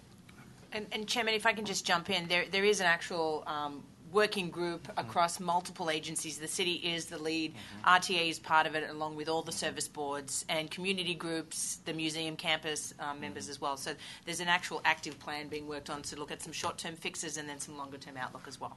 We can get you more as that develops too. Thank you. Other questions or comments? Director. These are more uh, operational questions, but uh, they do have a financial impact. Uh, how much of your uh, budget is uh, related to fuel consumption? Uh, Four percent Four percent? for fuel, yes. Uh, I, I noticed there's a lot of buses out there with uh, uh, G, GNP, uh, GNC, uh, CNG, uh, uh, compressed natural gas, uh, or uh, hydro uh, uh, hybrid uh, systems. What's the future planning for increasing your capacity in, in those systems? So- So we could always, with every vehicle purchase, we'll look at the, the right fuel system and the impact it has on, on the operating costs. I mean, as it, it wasn't mentioned in this presentation, but as you as you may be aware of, we have two all electric buses that are now on the streets that we're test that we're testing. So um, they're actually being tested more downtown. So you may run run into those. We're going to see how those perform. Um, the buses that we mentioned that we're purchasing, those are clean diesel, standard clean diesel buses. Uh, but we always look at it whenever we're making a vehicle purchase to look at those long term costs. Thank you.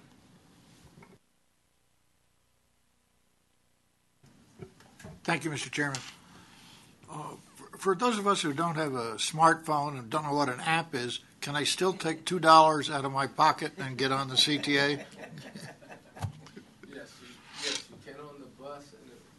And I'm sorry. Yes, you can on the bus, and for the, the train, you need just need a Ventra card. Yes, or or a credit card. I have a credit card, but not a Ventra card. Okay. Thank you. Ron, the last questions I had uh, deal primarily with the changes that were made to the budget policy. Both you and Tom uh, spoke about that. Uh, ICE was certainly a major change, and uh, that uh, seems to be moving along okay. I mean, there's some uh, additional documents that may be needed to be signed due to the, as the chairman spoke about, the statutory requirements or ordinances that we have. So I think that that process is moving along pretty well. And you heard my question to Metra about the um, need for a reserve fund or at least for a policy, and you are aware of the fact that now that we're kind of out of the business of, of looking at that, we still want to have a policy that we understand either you're implementing or this board has to do. Uh, so you realize, of course, that we still want to follow up with the CTA on that. And I don't know if you have any comments you'd want to make about it today, but because your operation has a massive uh, budget, that you'd have to deal with a problem like that. Well, I, I would say two things. So I agree with Tom's comments on the potential credit line. We're we're in a a really low interest rate environment, and and the quotes that I I've gotten were even lower. They were 20 to 25 basis points for, say, a $100 million uh, credit line. And but you know, bank the banks are hungry for business, and and we're all good credit. So I think that's one option uh, that we uh, could look at. Um, we also have a damage reserve, which is uh, currently overfunded, which would provide us uh, some relief if you know if we had some type of event that would would uh, occur. Okay. The uh, pr- program that you have for your um, warehousing of, of parts and so forth, is that something that could apply uh, to Metra, for example? Would that be a service that, that they could look at using, or is NAPA not involved in, in that type of a rail system? Do you have any thoughts on that? It, it seems to work quite well to bring your inventory from 100 million down to 50 million. Right. It it it it's an outsourcing inventory system, so it, it would it could work anywhere. So it, um, if if Tom would like to to to come over and understand, we can connect the you know connect Metra with Napa, and it can at least explore explore the possibility. But it it, it would work for uh, you know any uh, any agency. Uh, back way back in the days of the Park District, we actually outsourced our our, our inventory, uh, and and so it it, it definitely it, it definitely can work. Okay. I guess uh, with that in mind, if nobody else has any other questions, oh, yes, Director Buchanan. Yeah, being a South Side resident for all my life over there, it, uh, what is the status of the extension off of 95th Street? Would be nice to see the Bishop Ford. It would be nice to see 394. It'd be nice to see the CTA go all the way to Will County down that corridor. What's the status? Think big. So uh, it's, we've been talking about the red line extension. We talk about uh, at our at our board meetings, and when we have funds now in our capital program to continue that planning process. Obviously, big project need need multiple parties to, to participate, but we, we've we've got funds available specifically for the project to, to continue on the schedule um, that we need to have for that for that particular project. Any other questions? Mr. Chairman. Yes, Director Hobson. Piggybacking on uh, what the chairman had mentioned about cooperation, uh, for example, in, in that case on the uh, inventory or outsourcing of inventory, uh, is there any cooperation done in terms of fuel purchases among the different uh, agencies? I do realize there may be conflicts because of blends and things like that, but is there opportunity to improve hedging or purchasing by combining all three service boards? No, we have we have discussed it, and it's something that we should probably look at again uh, on our fuel because we're using you know we're using a blend of D1 and D2, and we started purchasing for so we stopped hedging we really purchased forward. You know, as you know, getting taking advantage of the you know of the lower you know lower prices because the prices have been just nosediving in the last last few months, but. Um, I will speak with with uh, Terry, both Terry and and Tom, and we'll see if there's any you know potential for us to uh, work closer together on it. Thank you very much. No other questions? Uh, anyone on the phone uh, have any questions? If, if not, uh, thank you very much, Ron and Tom. Thank you. all. Appreciate it.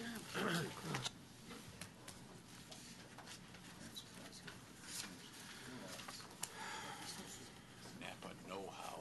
That's their, that's their thing. Yeah. You ever see their ads? Yeah. Napa.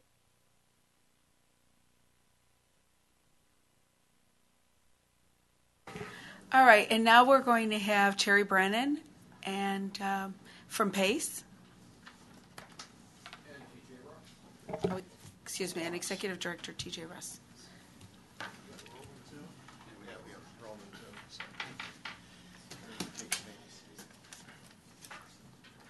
Do you need refills on anything? No, thanks. I'm fine. Thanks. Thank you very much uh, for being here today.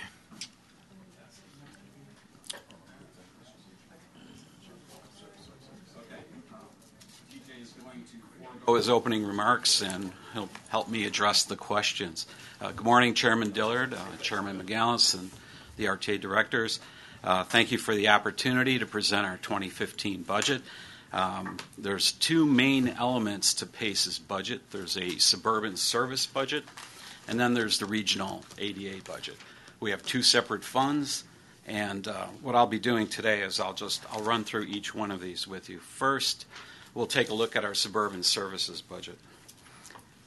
Summary highlights. Um, we have a very positive outlook for 2015 on the budget.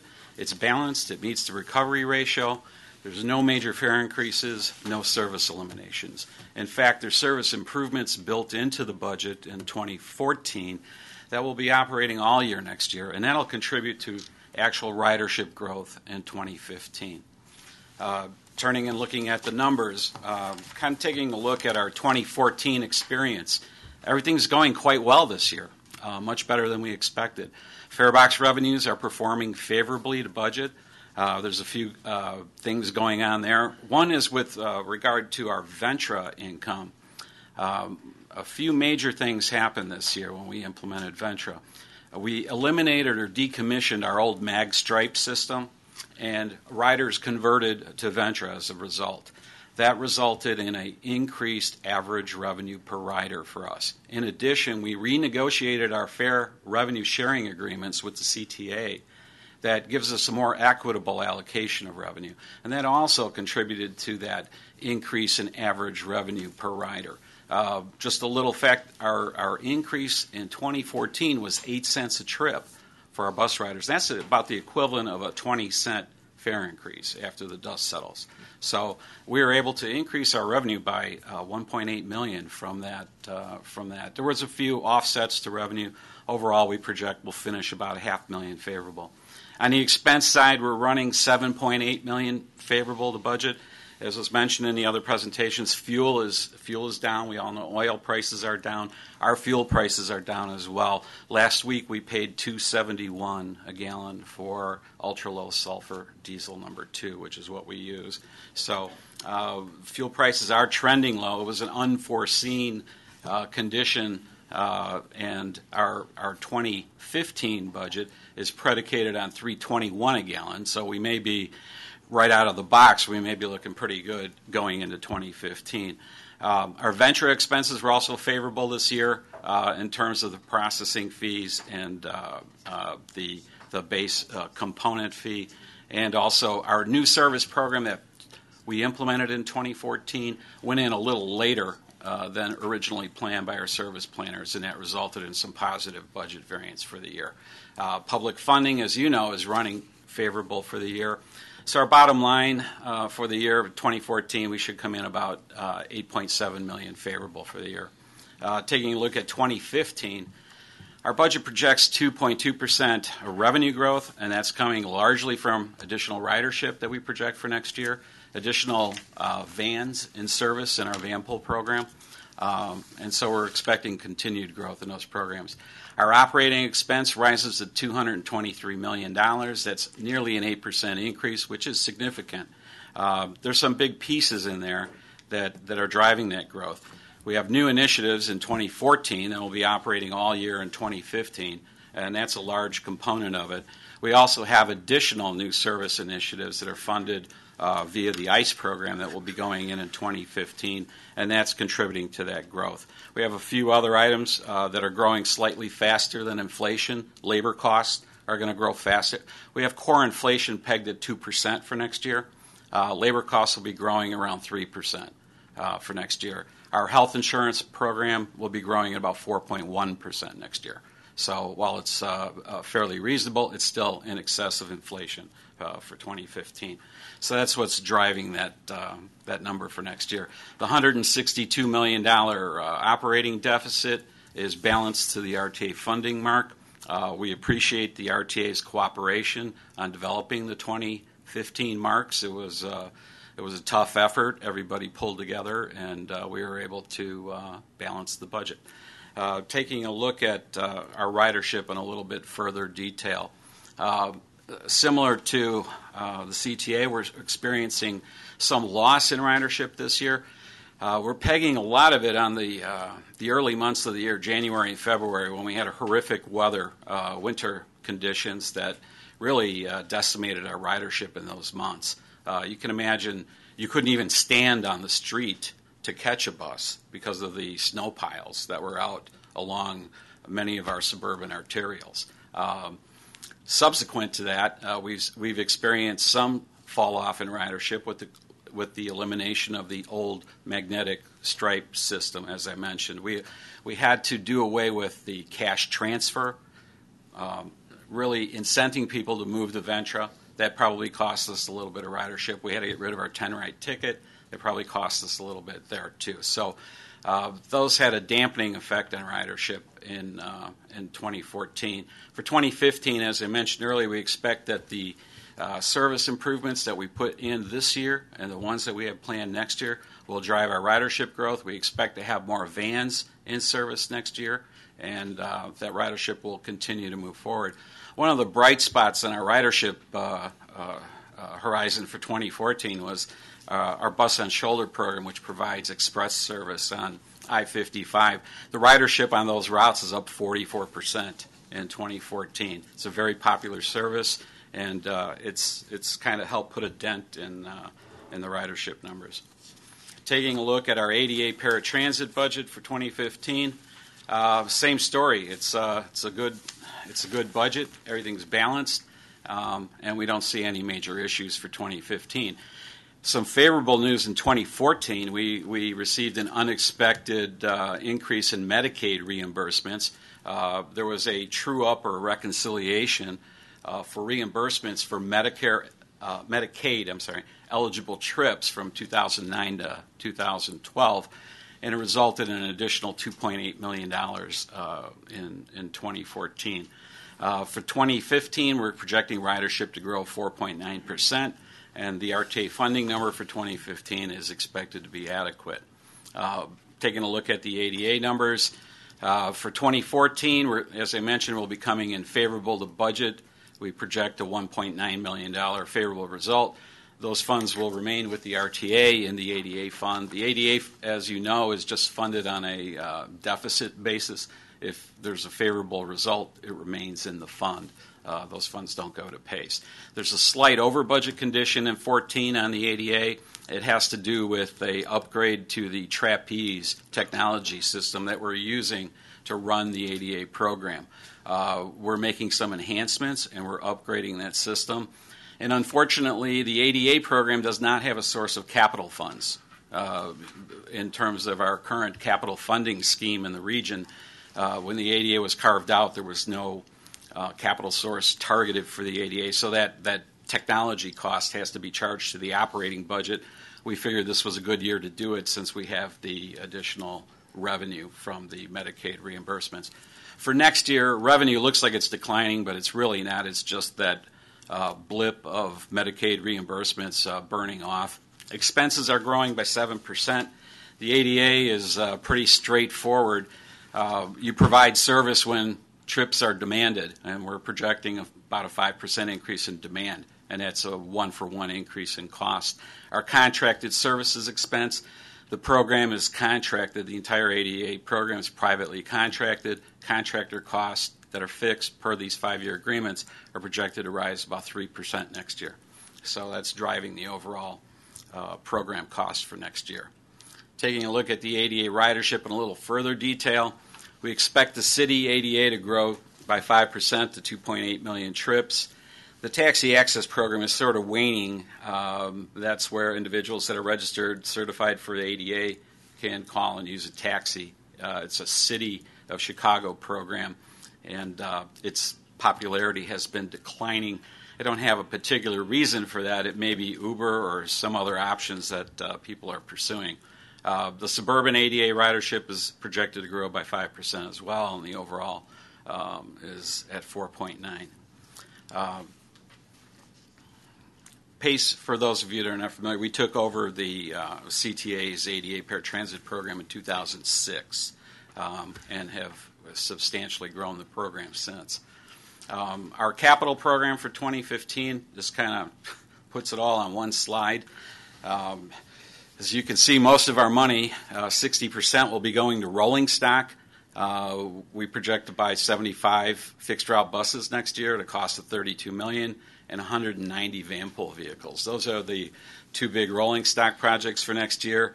And in terms of facilities, aside from uh, uh, a number of improvements to our garages, the big project in there is the I-90 corridor infrastructure. Uh, I'm sorry, I-90 corridor infrastructure is in for engineering at 1.1 million, but the big project is Milwaukee Avenue ART. We'll be building 18 stations between Jefferson Park and Golf Mill to support a uh, a bus rapid transit type service on Milwaukee Avenue, um, and that's programmed for 10.4 million for next year. Uh, Northwest Cook Garage Land. Uh, this is more of a programming matter. We had these funds budgeted previously from PACE reserves. Uh, we're now switching that to PACE bond funds uh, that will be issued uh, in a subsequent year. And then lastly, replacing the garage security systems at $3.3 million. All of our garages are security systems are out of date, need to be upgraded. Lastly, on the Burr Ridge Park and Ride, that parking lot supports the I-55 bus and shoulder service, and it's at capacity, and we can uh, double the capacity of the lot there for 1.165 million. Uh, just some uh, background on what we're doing with our capital money. Uh, we, we're going to be buying 91 compressed natural gas vehicles in 2015. These vehicles will be assigned to our South Division in Markham.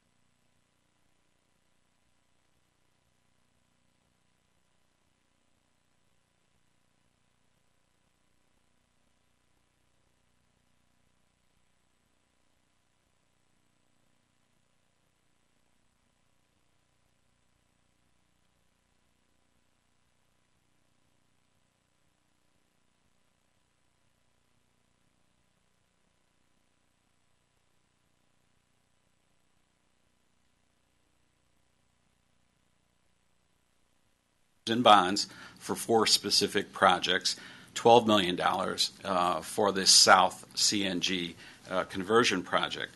We'll be coming back with that to the RTA uh, for approval sometime in the first quarter of 15, perhaps February. And lastly, uh, just I know you're very familiar with the intense capital needs for the rail system and the backlog and the shortfall that exists for rail. Um, PACE also has a shortfall. Our 10-year capital need of 2.1 billion is less than a third funded based on currently identified sources. So we have a 1 point, almost a 1.6 billion dollar capital shortfall for PACE, your smallest service board. Um, our capital shortfall, uh, somewhat different than rail and uh, shortfall, Ours tends to be in the fleet. Our biggest capital need is our fleet, and that's where our shortfall exists. Um, over this 10 year period, we have unfunded needs for 784 fixed route buses, over 1,000 paratransit buses, and nearly 1,400 vanpool vans. Um, without timely replacement, our maintenance costs are going to go up. Unlike rail, our vehicle maintenance costs are a major component. We don't have track right away and structure vehicle cost, driver maintenance uh, costs. So uh, we're, if we don't replace these vehicles, uh, we're gonna we're gonna see costs rise rather than decline over this 10-year period. And that's essentially it. Um, I have TJ TJ Ross is here, our executive director, and uh, we'd be glad to address any questions the board may have. Thank you, Terry, and uh, thank you for the presentation. Again, we'd like to request a copy of the slides if we could have that. That'd be great. Um, oh, we got them. Okay, great. I guess we do. The um, policies that were changed for the budget, you've heard the discussion with the uh, two service boards before. We made a couple of major changes, which uh, came as a result of recommendations from the service boards to some extent. Uh, one dealt with certainly the ICE funding, and we've heard your presentation on that, and the other dealt with the reserve fund. Just two seconds of your thoughts on how you would approach a reserve fund um, you've heard the discussion for Right. both CTA and Metra. Right. We have a board policy for working cash that um, sets a minimum of one month, about eight and a half percent of for a working cash reserve. So that's essentially it. Uh, we're doing much better than that right now in terms of cash and also in terms of unrestricted net assets. But um, in terms of working cash, it's one month reserve.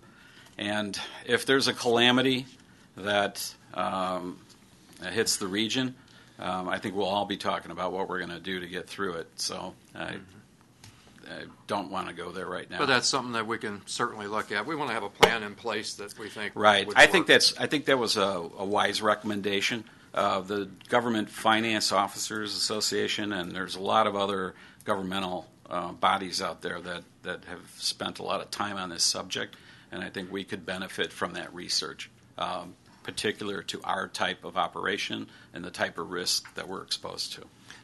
Thank you. You, re- men- you, you mentioned the uh, amount of capital needs you have and, and the budget that uh, you need for that. Um, you haven't raised fares since 2009, uh, both Right. on Right. pace and and for um, the ADA. Have you given any consideration to to and when you would might consider raising fares, and could you not follow something similar to what Metra's doing and allocate a, a portion of that toward the capital for bonding or whatever? We do uh, take a look at fares closely every year with our budget cycle and even off cycle. And when we were looking at it for 2015, uh, two things came um, to mind. One was we did quite well on the Ventra implementation in terms of increasing our revenue without raising fares. We've also experienced a softness in the ridership this year because of the, the harsh weather and other conditions. And uh, we know that when we raise fares, we lose riders. We have negative elasticity. We've lost riders on every fare increase that we've ever implemented. Uh, given the fact that our revenue is performing well, um, our ridership is looking like it could recover, we don't think that 2015 is a good time to adjust fares. We also took a look at a few other factors.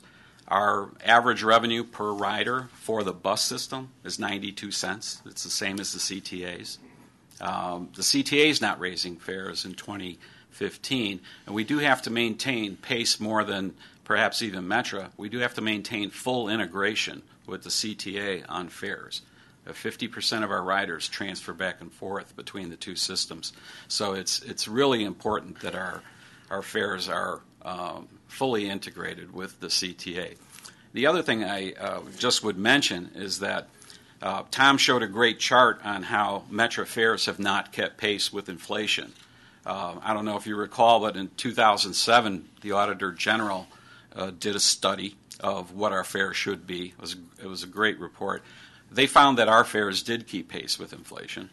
We subsequently increased fares in 2009, as you mentioned, and I just did a little quick update of that chart the OAG prepared, and we're less than five cents off from inflation going back to 92 when the OAG did their study. So we're right there. We're, we're trending well, well with inflation.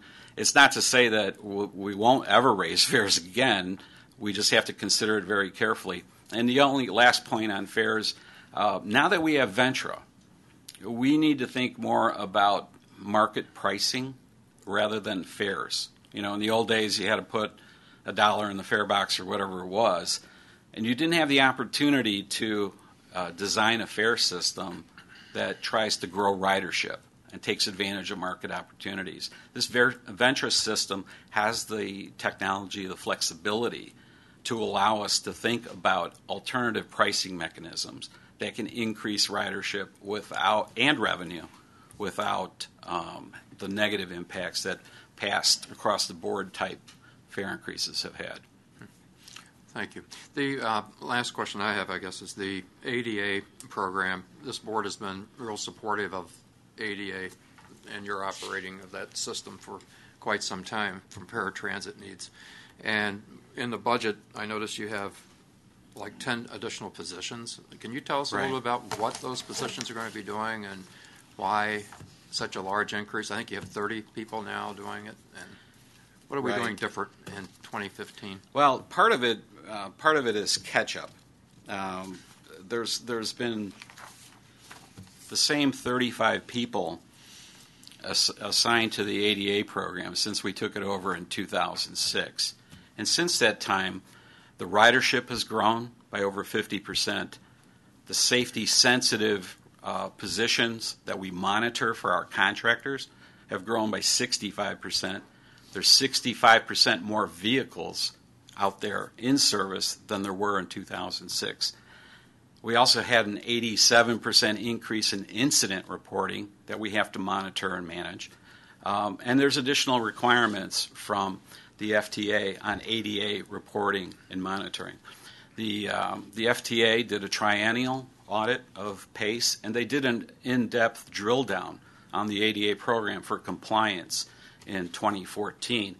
And I'm proud to report that we received an excellent no finding result for the entire triennial, which is uh, unusual for a transit agency. But in particular on ADA, they were very complimentary of the way we were managing the ADA and how we were maintaining compliance with all of the various regulations for drug, alcohol monitoring, vehicle condition, and reporting. That system, as it's grown, has put a tremendous burden on the existing staff. And the need to not only maintain compliance and, and do our jobs, uh, we've got a fiduciary responsibility for that program, uh, as well as make the kind of enhancements that we're, we're looking for launching in 2015 uh, with the trapeze upgrade. Um, those are going to require additional people. And, and uh, so what it boils down to is it's a little bit of catch up. Um, we want to make sure that our people aren't overtaxed, overstressed, working too much overtime, and we want to make sure that we're doing our job. So uh, it's basically it's catch up and a little bit of new technology that's driving that increase. It's, a, it's an area that certainly is uh, one of the fastest growing costs that we have uh, in a system from a percentage standpoint. It's it's almost a victim of its own success because the cost grows as demand grows, and um, the demand grows as we do a better job. And we've been doing a really good job. Uh, demand has been growing. Uh, the trend, you know, as as the baby boomers age, and and more of them are unable to drive, uh, looking forward, we're going to see further increases in demand. Uh, but you can rest assured we're doing everything we can to improve our productivity and maintain our cost. When you look at the RTA sub-regional peer report, our ADA service outperforms all of the other major markets in terms of cost efficiency and effectiveness. We're, I think we're doing a great job. Uh, we're wrestling with this on a daily basis. The technology improvements that we make um, are all geared around reducing cost, improving the customer experience, and safety. One of the ways that, that you talked in the past about reducing costs was to try to transition people from that level of service onto the regular transit right. uh, the, system. What kind right. of success have you had in doing that? Because that reduces the cost considerably. You know, we've we've made a lot of marketing efforts and promotional efforts and working with the communities and the workshops to to get individuals that can use mainline service to do so. Uh, it's an uphill battle. Um, I think the next step um, that would probably go a long way toward accomplishing that will be trip screening, uh, where the caller, uh, the, the dispatcher actually taking the call, will be able to determine using the technology if that individual can take a fixed route or Mm-hmm. rail trip instead of the trip that they're calling to, to reserve. Okay, thank We, you. and we can get you the figures on, on the current transition. Thanks. Uh, uh, Director Totten. Thank you, Mr. Chairman. Kerry, I see you've got in your capital program some money for I-90 corridor infrastructure. It's my understanding that that project is supposed to be complete in 2016. Uh, For January of 17 or is, 17. is start. What is, uh, what is going to be the impact on pace uh, on that uh, corridor change? Uh, Equipment, uh, Right. Uh, ballpark, there's going to be about $8 million in additional service. They'll be starting in 2017. There'll be additional express buses running in the I 90 corridor. There will be additional local feeder and support services that bring people to the express service. From a capital standpoint, we're going to need 24 additional buses to run that service, and we're going to build three park and ride lots, uh, one at Randall Road, one at Route 25, and one at Barrington Road. We're working with the tollway now while that corridor is under construction to uh, preserve the parcels and, and do our engineering so that pedestrians can access the parking lots. Um, so that the project's uh, pretty well underway. It will have a significant impact. Uh, I don't have the ridership figure off the top of my head, but uh, we're expecting similar to the success that we've experienced in the I-55 corridor. You know, when the bus doesn't have to sit in traffic and it can get a, uh, a faster trip uh, to the CTA uh, blue line, uh, we, we, expect that we're going to see some significant ridership boost in that corridor. Uh, some of the routes we currently have operating there, Route 606, 600, are doing quite well already. Those buses are packed, uh, and we think that we'll we'll see further increase there. Where's the funding going to come well, from? Well, uh, it's it's multiple sources. Uh, the operating is going to be funded out of our operating budget. We have that built into turns out into our three-year plan in the out years. The uh, capital funding is coming largely from CMAQ, CMAQ funding, and some PACE funds. We use some of our own uh, what we call PBV or our reserve funds, positive variant, positive budget variance funds that are then recycled into capital. Uh, to, that's what we're using actually right now to pay for the engineering work uh, for the three parking rides. Thank you. Yes, Director, Director Lewis. Uh, Mr. Chairman, thank you. Um, Terry, very excellent presentation. Just a couple of questions. Uh, one, you mentioned the need for new capital equipment. I wondered, are you using lease financing and other uh, creative uh, financing methods to help that? Because it sounds like you're purchasing the vehicles or plan to purchase the vehicles right. as opposed to a lease. Is that right. something you've looked at? We have looked at lease versus purchase. Unfortunately, the way the FTA rules are for 5307 funds, the only way that you can do a lease with federal funds is to prove that the lease is less expensive than a purchase. And because of the interest expense on a lease, it's an impossible argument to make. And that's why most transit systems are not able to lease their vehicles with federal funds. So when you look to leasing, you'd have to look to other sources of funds. And we really don't have a large source of other funding other than our federal funds for vehicles. Uh, years ago, when it was allowed, we did a sale leaseback transaction, uh, like the CTA Metra did with their rolling stock, but those have been prohibited as well. So we're kind of in the in the boat of just having to use our federal 5307 formula funding to to buy the vehicles outright. Understand. Thank you. Uh, Ron talked about um, an interesting program at the CTA relative to outsourcing. Is that something that PACE could also consider? We've uh, we've looked at it, and perhaps we need to look at it again. But um, the cost benefit analysis, the kinds of numbers that we were getting, uh, indicated that it wouldn't be financially advantageous to us. Uh, some of it has to do with logistics. We've got uh, 10 garages spread around the region from Joliet up to Waukegan, and to uh, deliver parts uh, and maintain that inventory would be difficult. Uh, some of the other some of the other factors, we maintain a very low inventory already, uh, and we monitor. Our, we only have a six million dollar parts inventory, and we we monitor it closely for turns. Um, we can look at it again. Uh, we do have uh, plans for the future to build a centralized sort of warehouse facility and look to see if we could um, reduce the cost of our inventory at those uh, locations. Um, and we could work it into that analysis to see if there's any uh, financial benefit. Thank you. My final question, uh, one you knew was coming, uh, was do you have a minority supplier diversity program in place and how effective has that been working for you? Uh, we do, and then we're making additional efforts. Uh, there's a disparity study that we're undertaking right now. We expect to have that in the first quarter of next year that will identify where additional opportunities will be for us.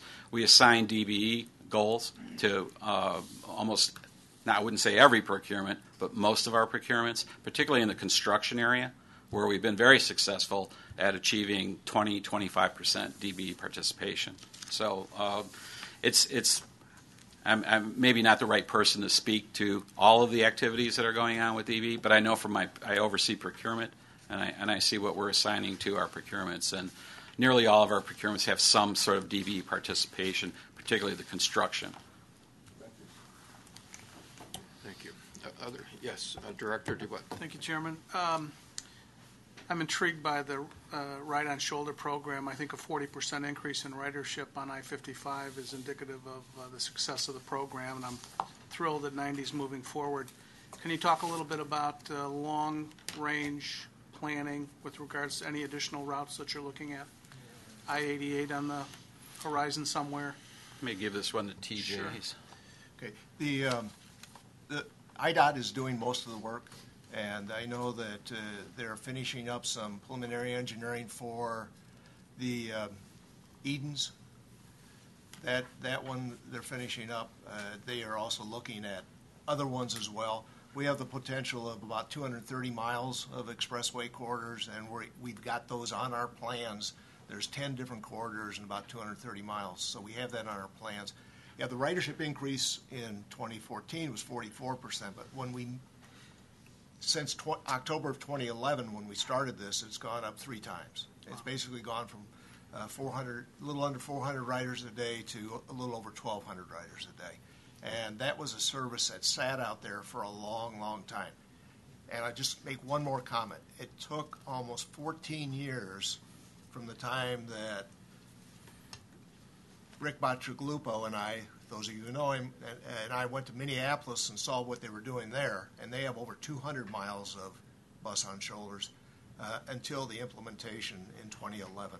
So it's it's um, it's been a long project. It's one that uh, that we just had to keep beating at, and now we're in a good position.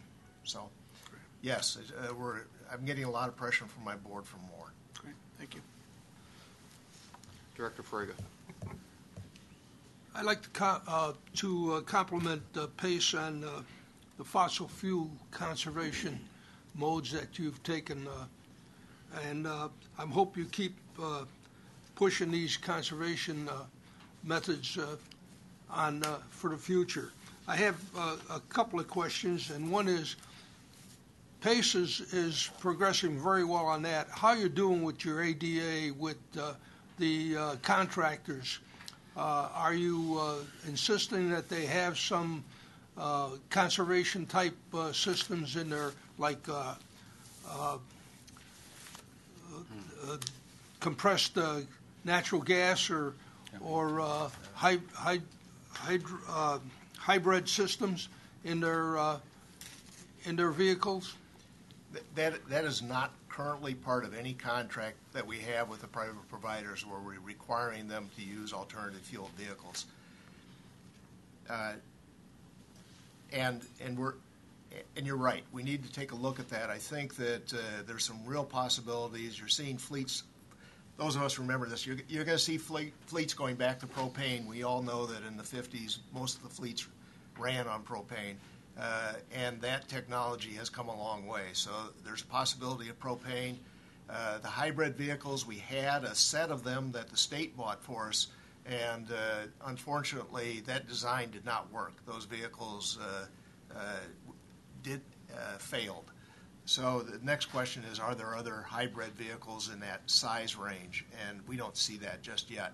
Compressed natural gas is a possibility, but I think for the smaller garages, the propane might be uh, might be something that really can work. And if that's something that this board is interested in, uh, I know that my board would be interested in. So we'll, we'll take a look at that. Uh, Another question is uh, your uh, your RFPs. The state has a three percent set aside for veteran-owned firms. Have you in in uh, in your RFPs uh, required any of that? No. Is there is there any reason that you haven't, or is it uh, going to be in? Fe- uh, are you going to put it in effect in the future? I think it's being evaluated as part of this diversity analysis that's ongoing now. Uh, we don't have a clear position on that one yet. Thank you. Yes. Director Melvin. Thank you, Mr. Chairman. Um, over the past few years, I've gotten to watch you guys and meet you guys and look at your monthly numbers. You guys are good operators and uh, very nimble and very responsive. And congratulations Thank and, you. and very very nice presentation. Um, uh, to follow up on uh, uh, Director Frega's question about the um, the compressed natural gas, so uh, are those vehicles a good value? They're about the same price as the diesel Okay. vehicles. They're, it's, uh, you know, we were looking at, they're four hundred seventy-nine thousand dollars a copy on that bid for the ninety-one vehicles that we're buying. That's about the same price we were paying for traditional diesel vehicles. It's good to know. Um, and the, the fuel savings, well, it will be significant. Uh, we expect that our South Division garage will probably save about $2 million a year in fuel uh, based on current prices. So That's great. Uh, it's about a two-third reduction in fuel. Um, the other big CNG project we have in the works uh, is we have plans to build a new Northwest Cook garage to replace our facility in Des Plaines. And when we build that facility, uh, that will be a CNG facility right out of the box with a CNG fleet as well. So um, that will move a large percentage of our fleet to CNG. That's great. And one other question about uh, as as the oil prices have gone down, you mentioned that uh, there's a chance to have some savings there. Any thoughts about locking something in for the year, or are you just going to continue to be opportunistic? Or, or Uh, anyone that knows me uh, knows that I don't like to lock fuel. Um, our experience has been that the way we buy fuel currently, we, we bid forward uh, quarterly and we float with the market based on OPIS. And when we compare our fuel pricing results over time, we, we beat everybody. So what I've learned from that is that you can't outfox the market.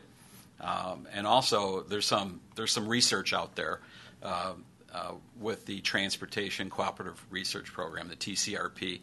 They did an analysis of 10 transit agencies and their fuel hedging experience. Nine of them lost significant amounts of money on their fuel hedging program. So I, I've kind of learned the lesson from other people's mistakes that um, hedging's not for us. Uh, we're not that sophisticated.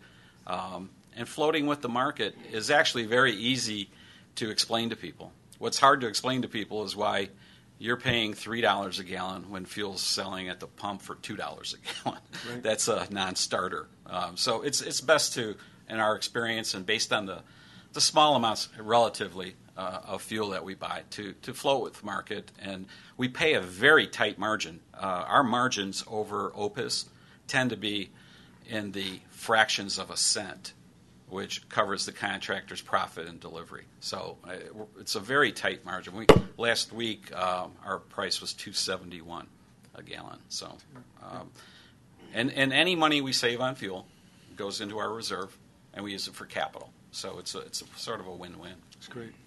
Well, thank you. Thank you. Keep up the good work. Yeah. Other questions? Director Hobson. Yeah. Um, me- both Metra and CTA have talked about declining fuel prices, and you yourself talked about declining fuel prices. But in the report that we have, it says Pace forecasts $3.17 in 2014 and $3.21 in 2015, a rising fuel price. Right. Seems counterintuitive to me. Well, uh, because of this protracted budget process that we go through, our budget essentially was put together last summer. And when it was put together, that was the fuel outlook. Uh, this recent sort of implosion in oil prices and fuel prices was not anticipated.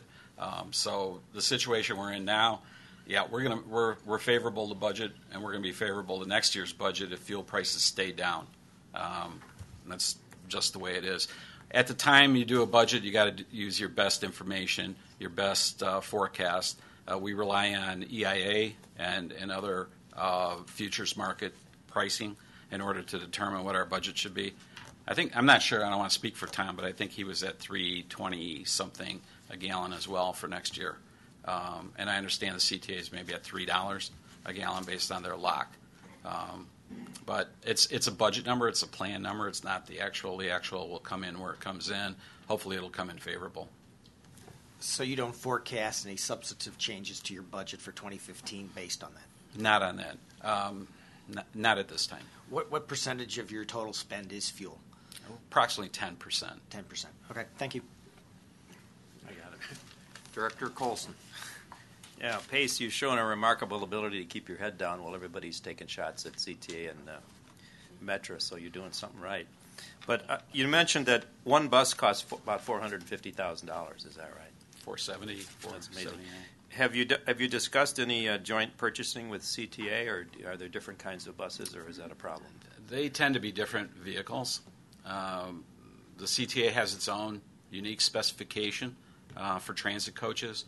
Um, it, there's some significant differences, and uh, based on timing and contract length and federal restrictions, um, it, it's been very difficult to sync up and do a joint procurement uh, for transit coaches. The spec aside, uh, there's other complications that make that difficult. We're currently under a um, we are currently under a five-year contract with Eldorado National out of California for transit coaches, and we also awarded a five-year contract for CNG vehicles. We have five years for diesel and five years so so we're kind of locked in right now um, on our coaches. Other questions or comments?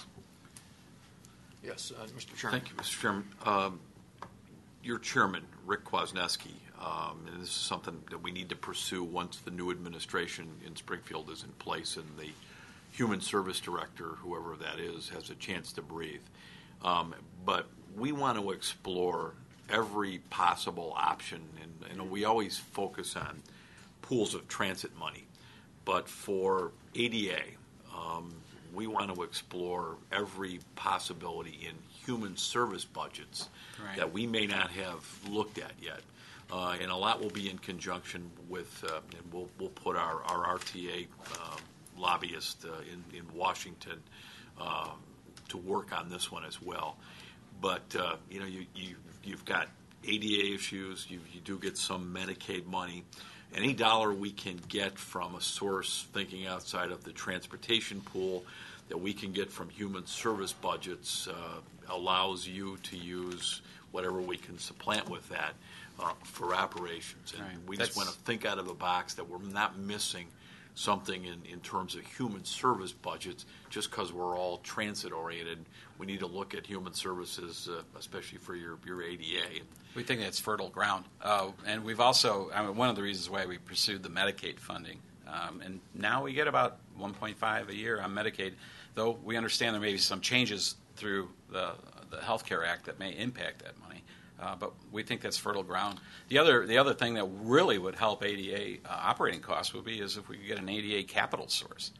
You know, if the contractors didn't have to buy all their buses and pay for their garage facilities out of operating, uh, and we could do that, uh, that would bring down that operating cost uh, per trip significantly. Yeah, I just think it's something as after the first of the year, we need to, uh, you know, we need to give guidance to well Governor-elect Rauner's administration and, you know, and see what we can do, thinking outside of the box with, with our, you know, we've got a great congressional delegation. Uh, they work in a bipartisan fashion and, um, you know, we ought to, we ought to see if, if they can scour, and they've got some tremendously brilliant staff people.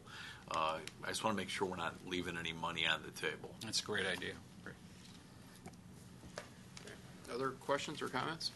Just Yes, a real, I hate Director to Dewitt. belabor this discussion, uh, just a general comment. You know, one of the recurring themes here this morning has been um, joint acquisition opportunities. Everybody's talked about fuel, and I'm sure there are probably a thousand different items that each of these three service agencies are, are purchasing on a regular basis.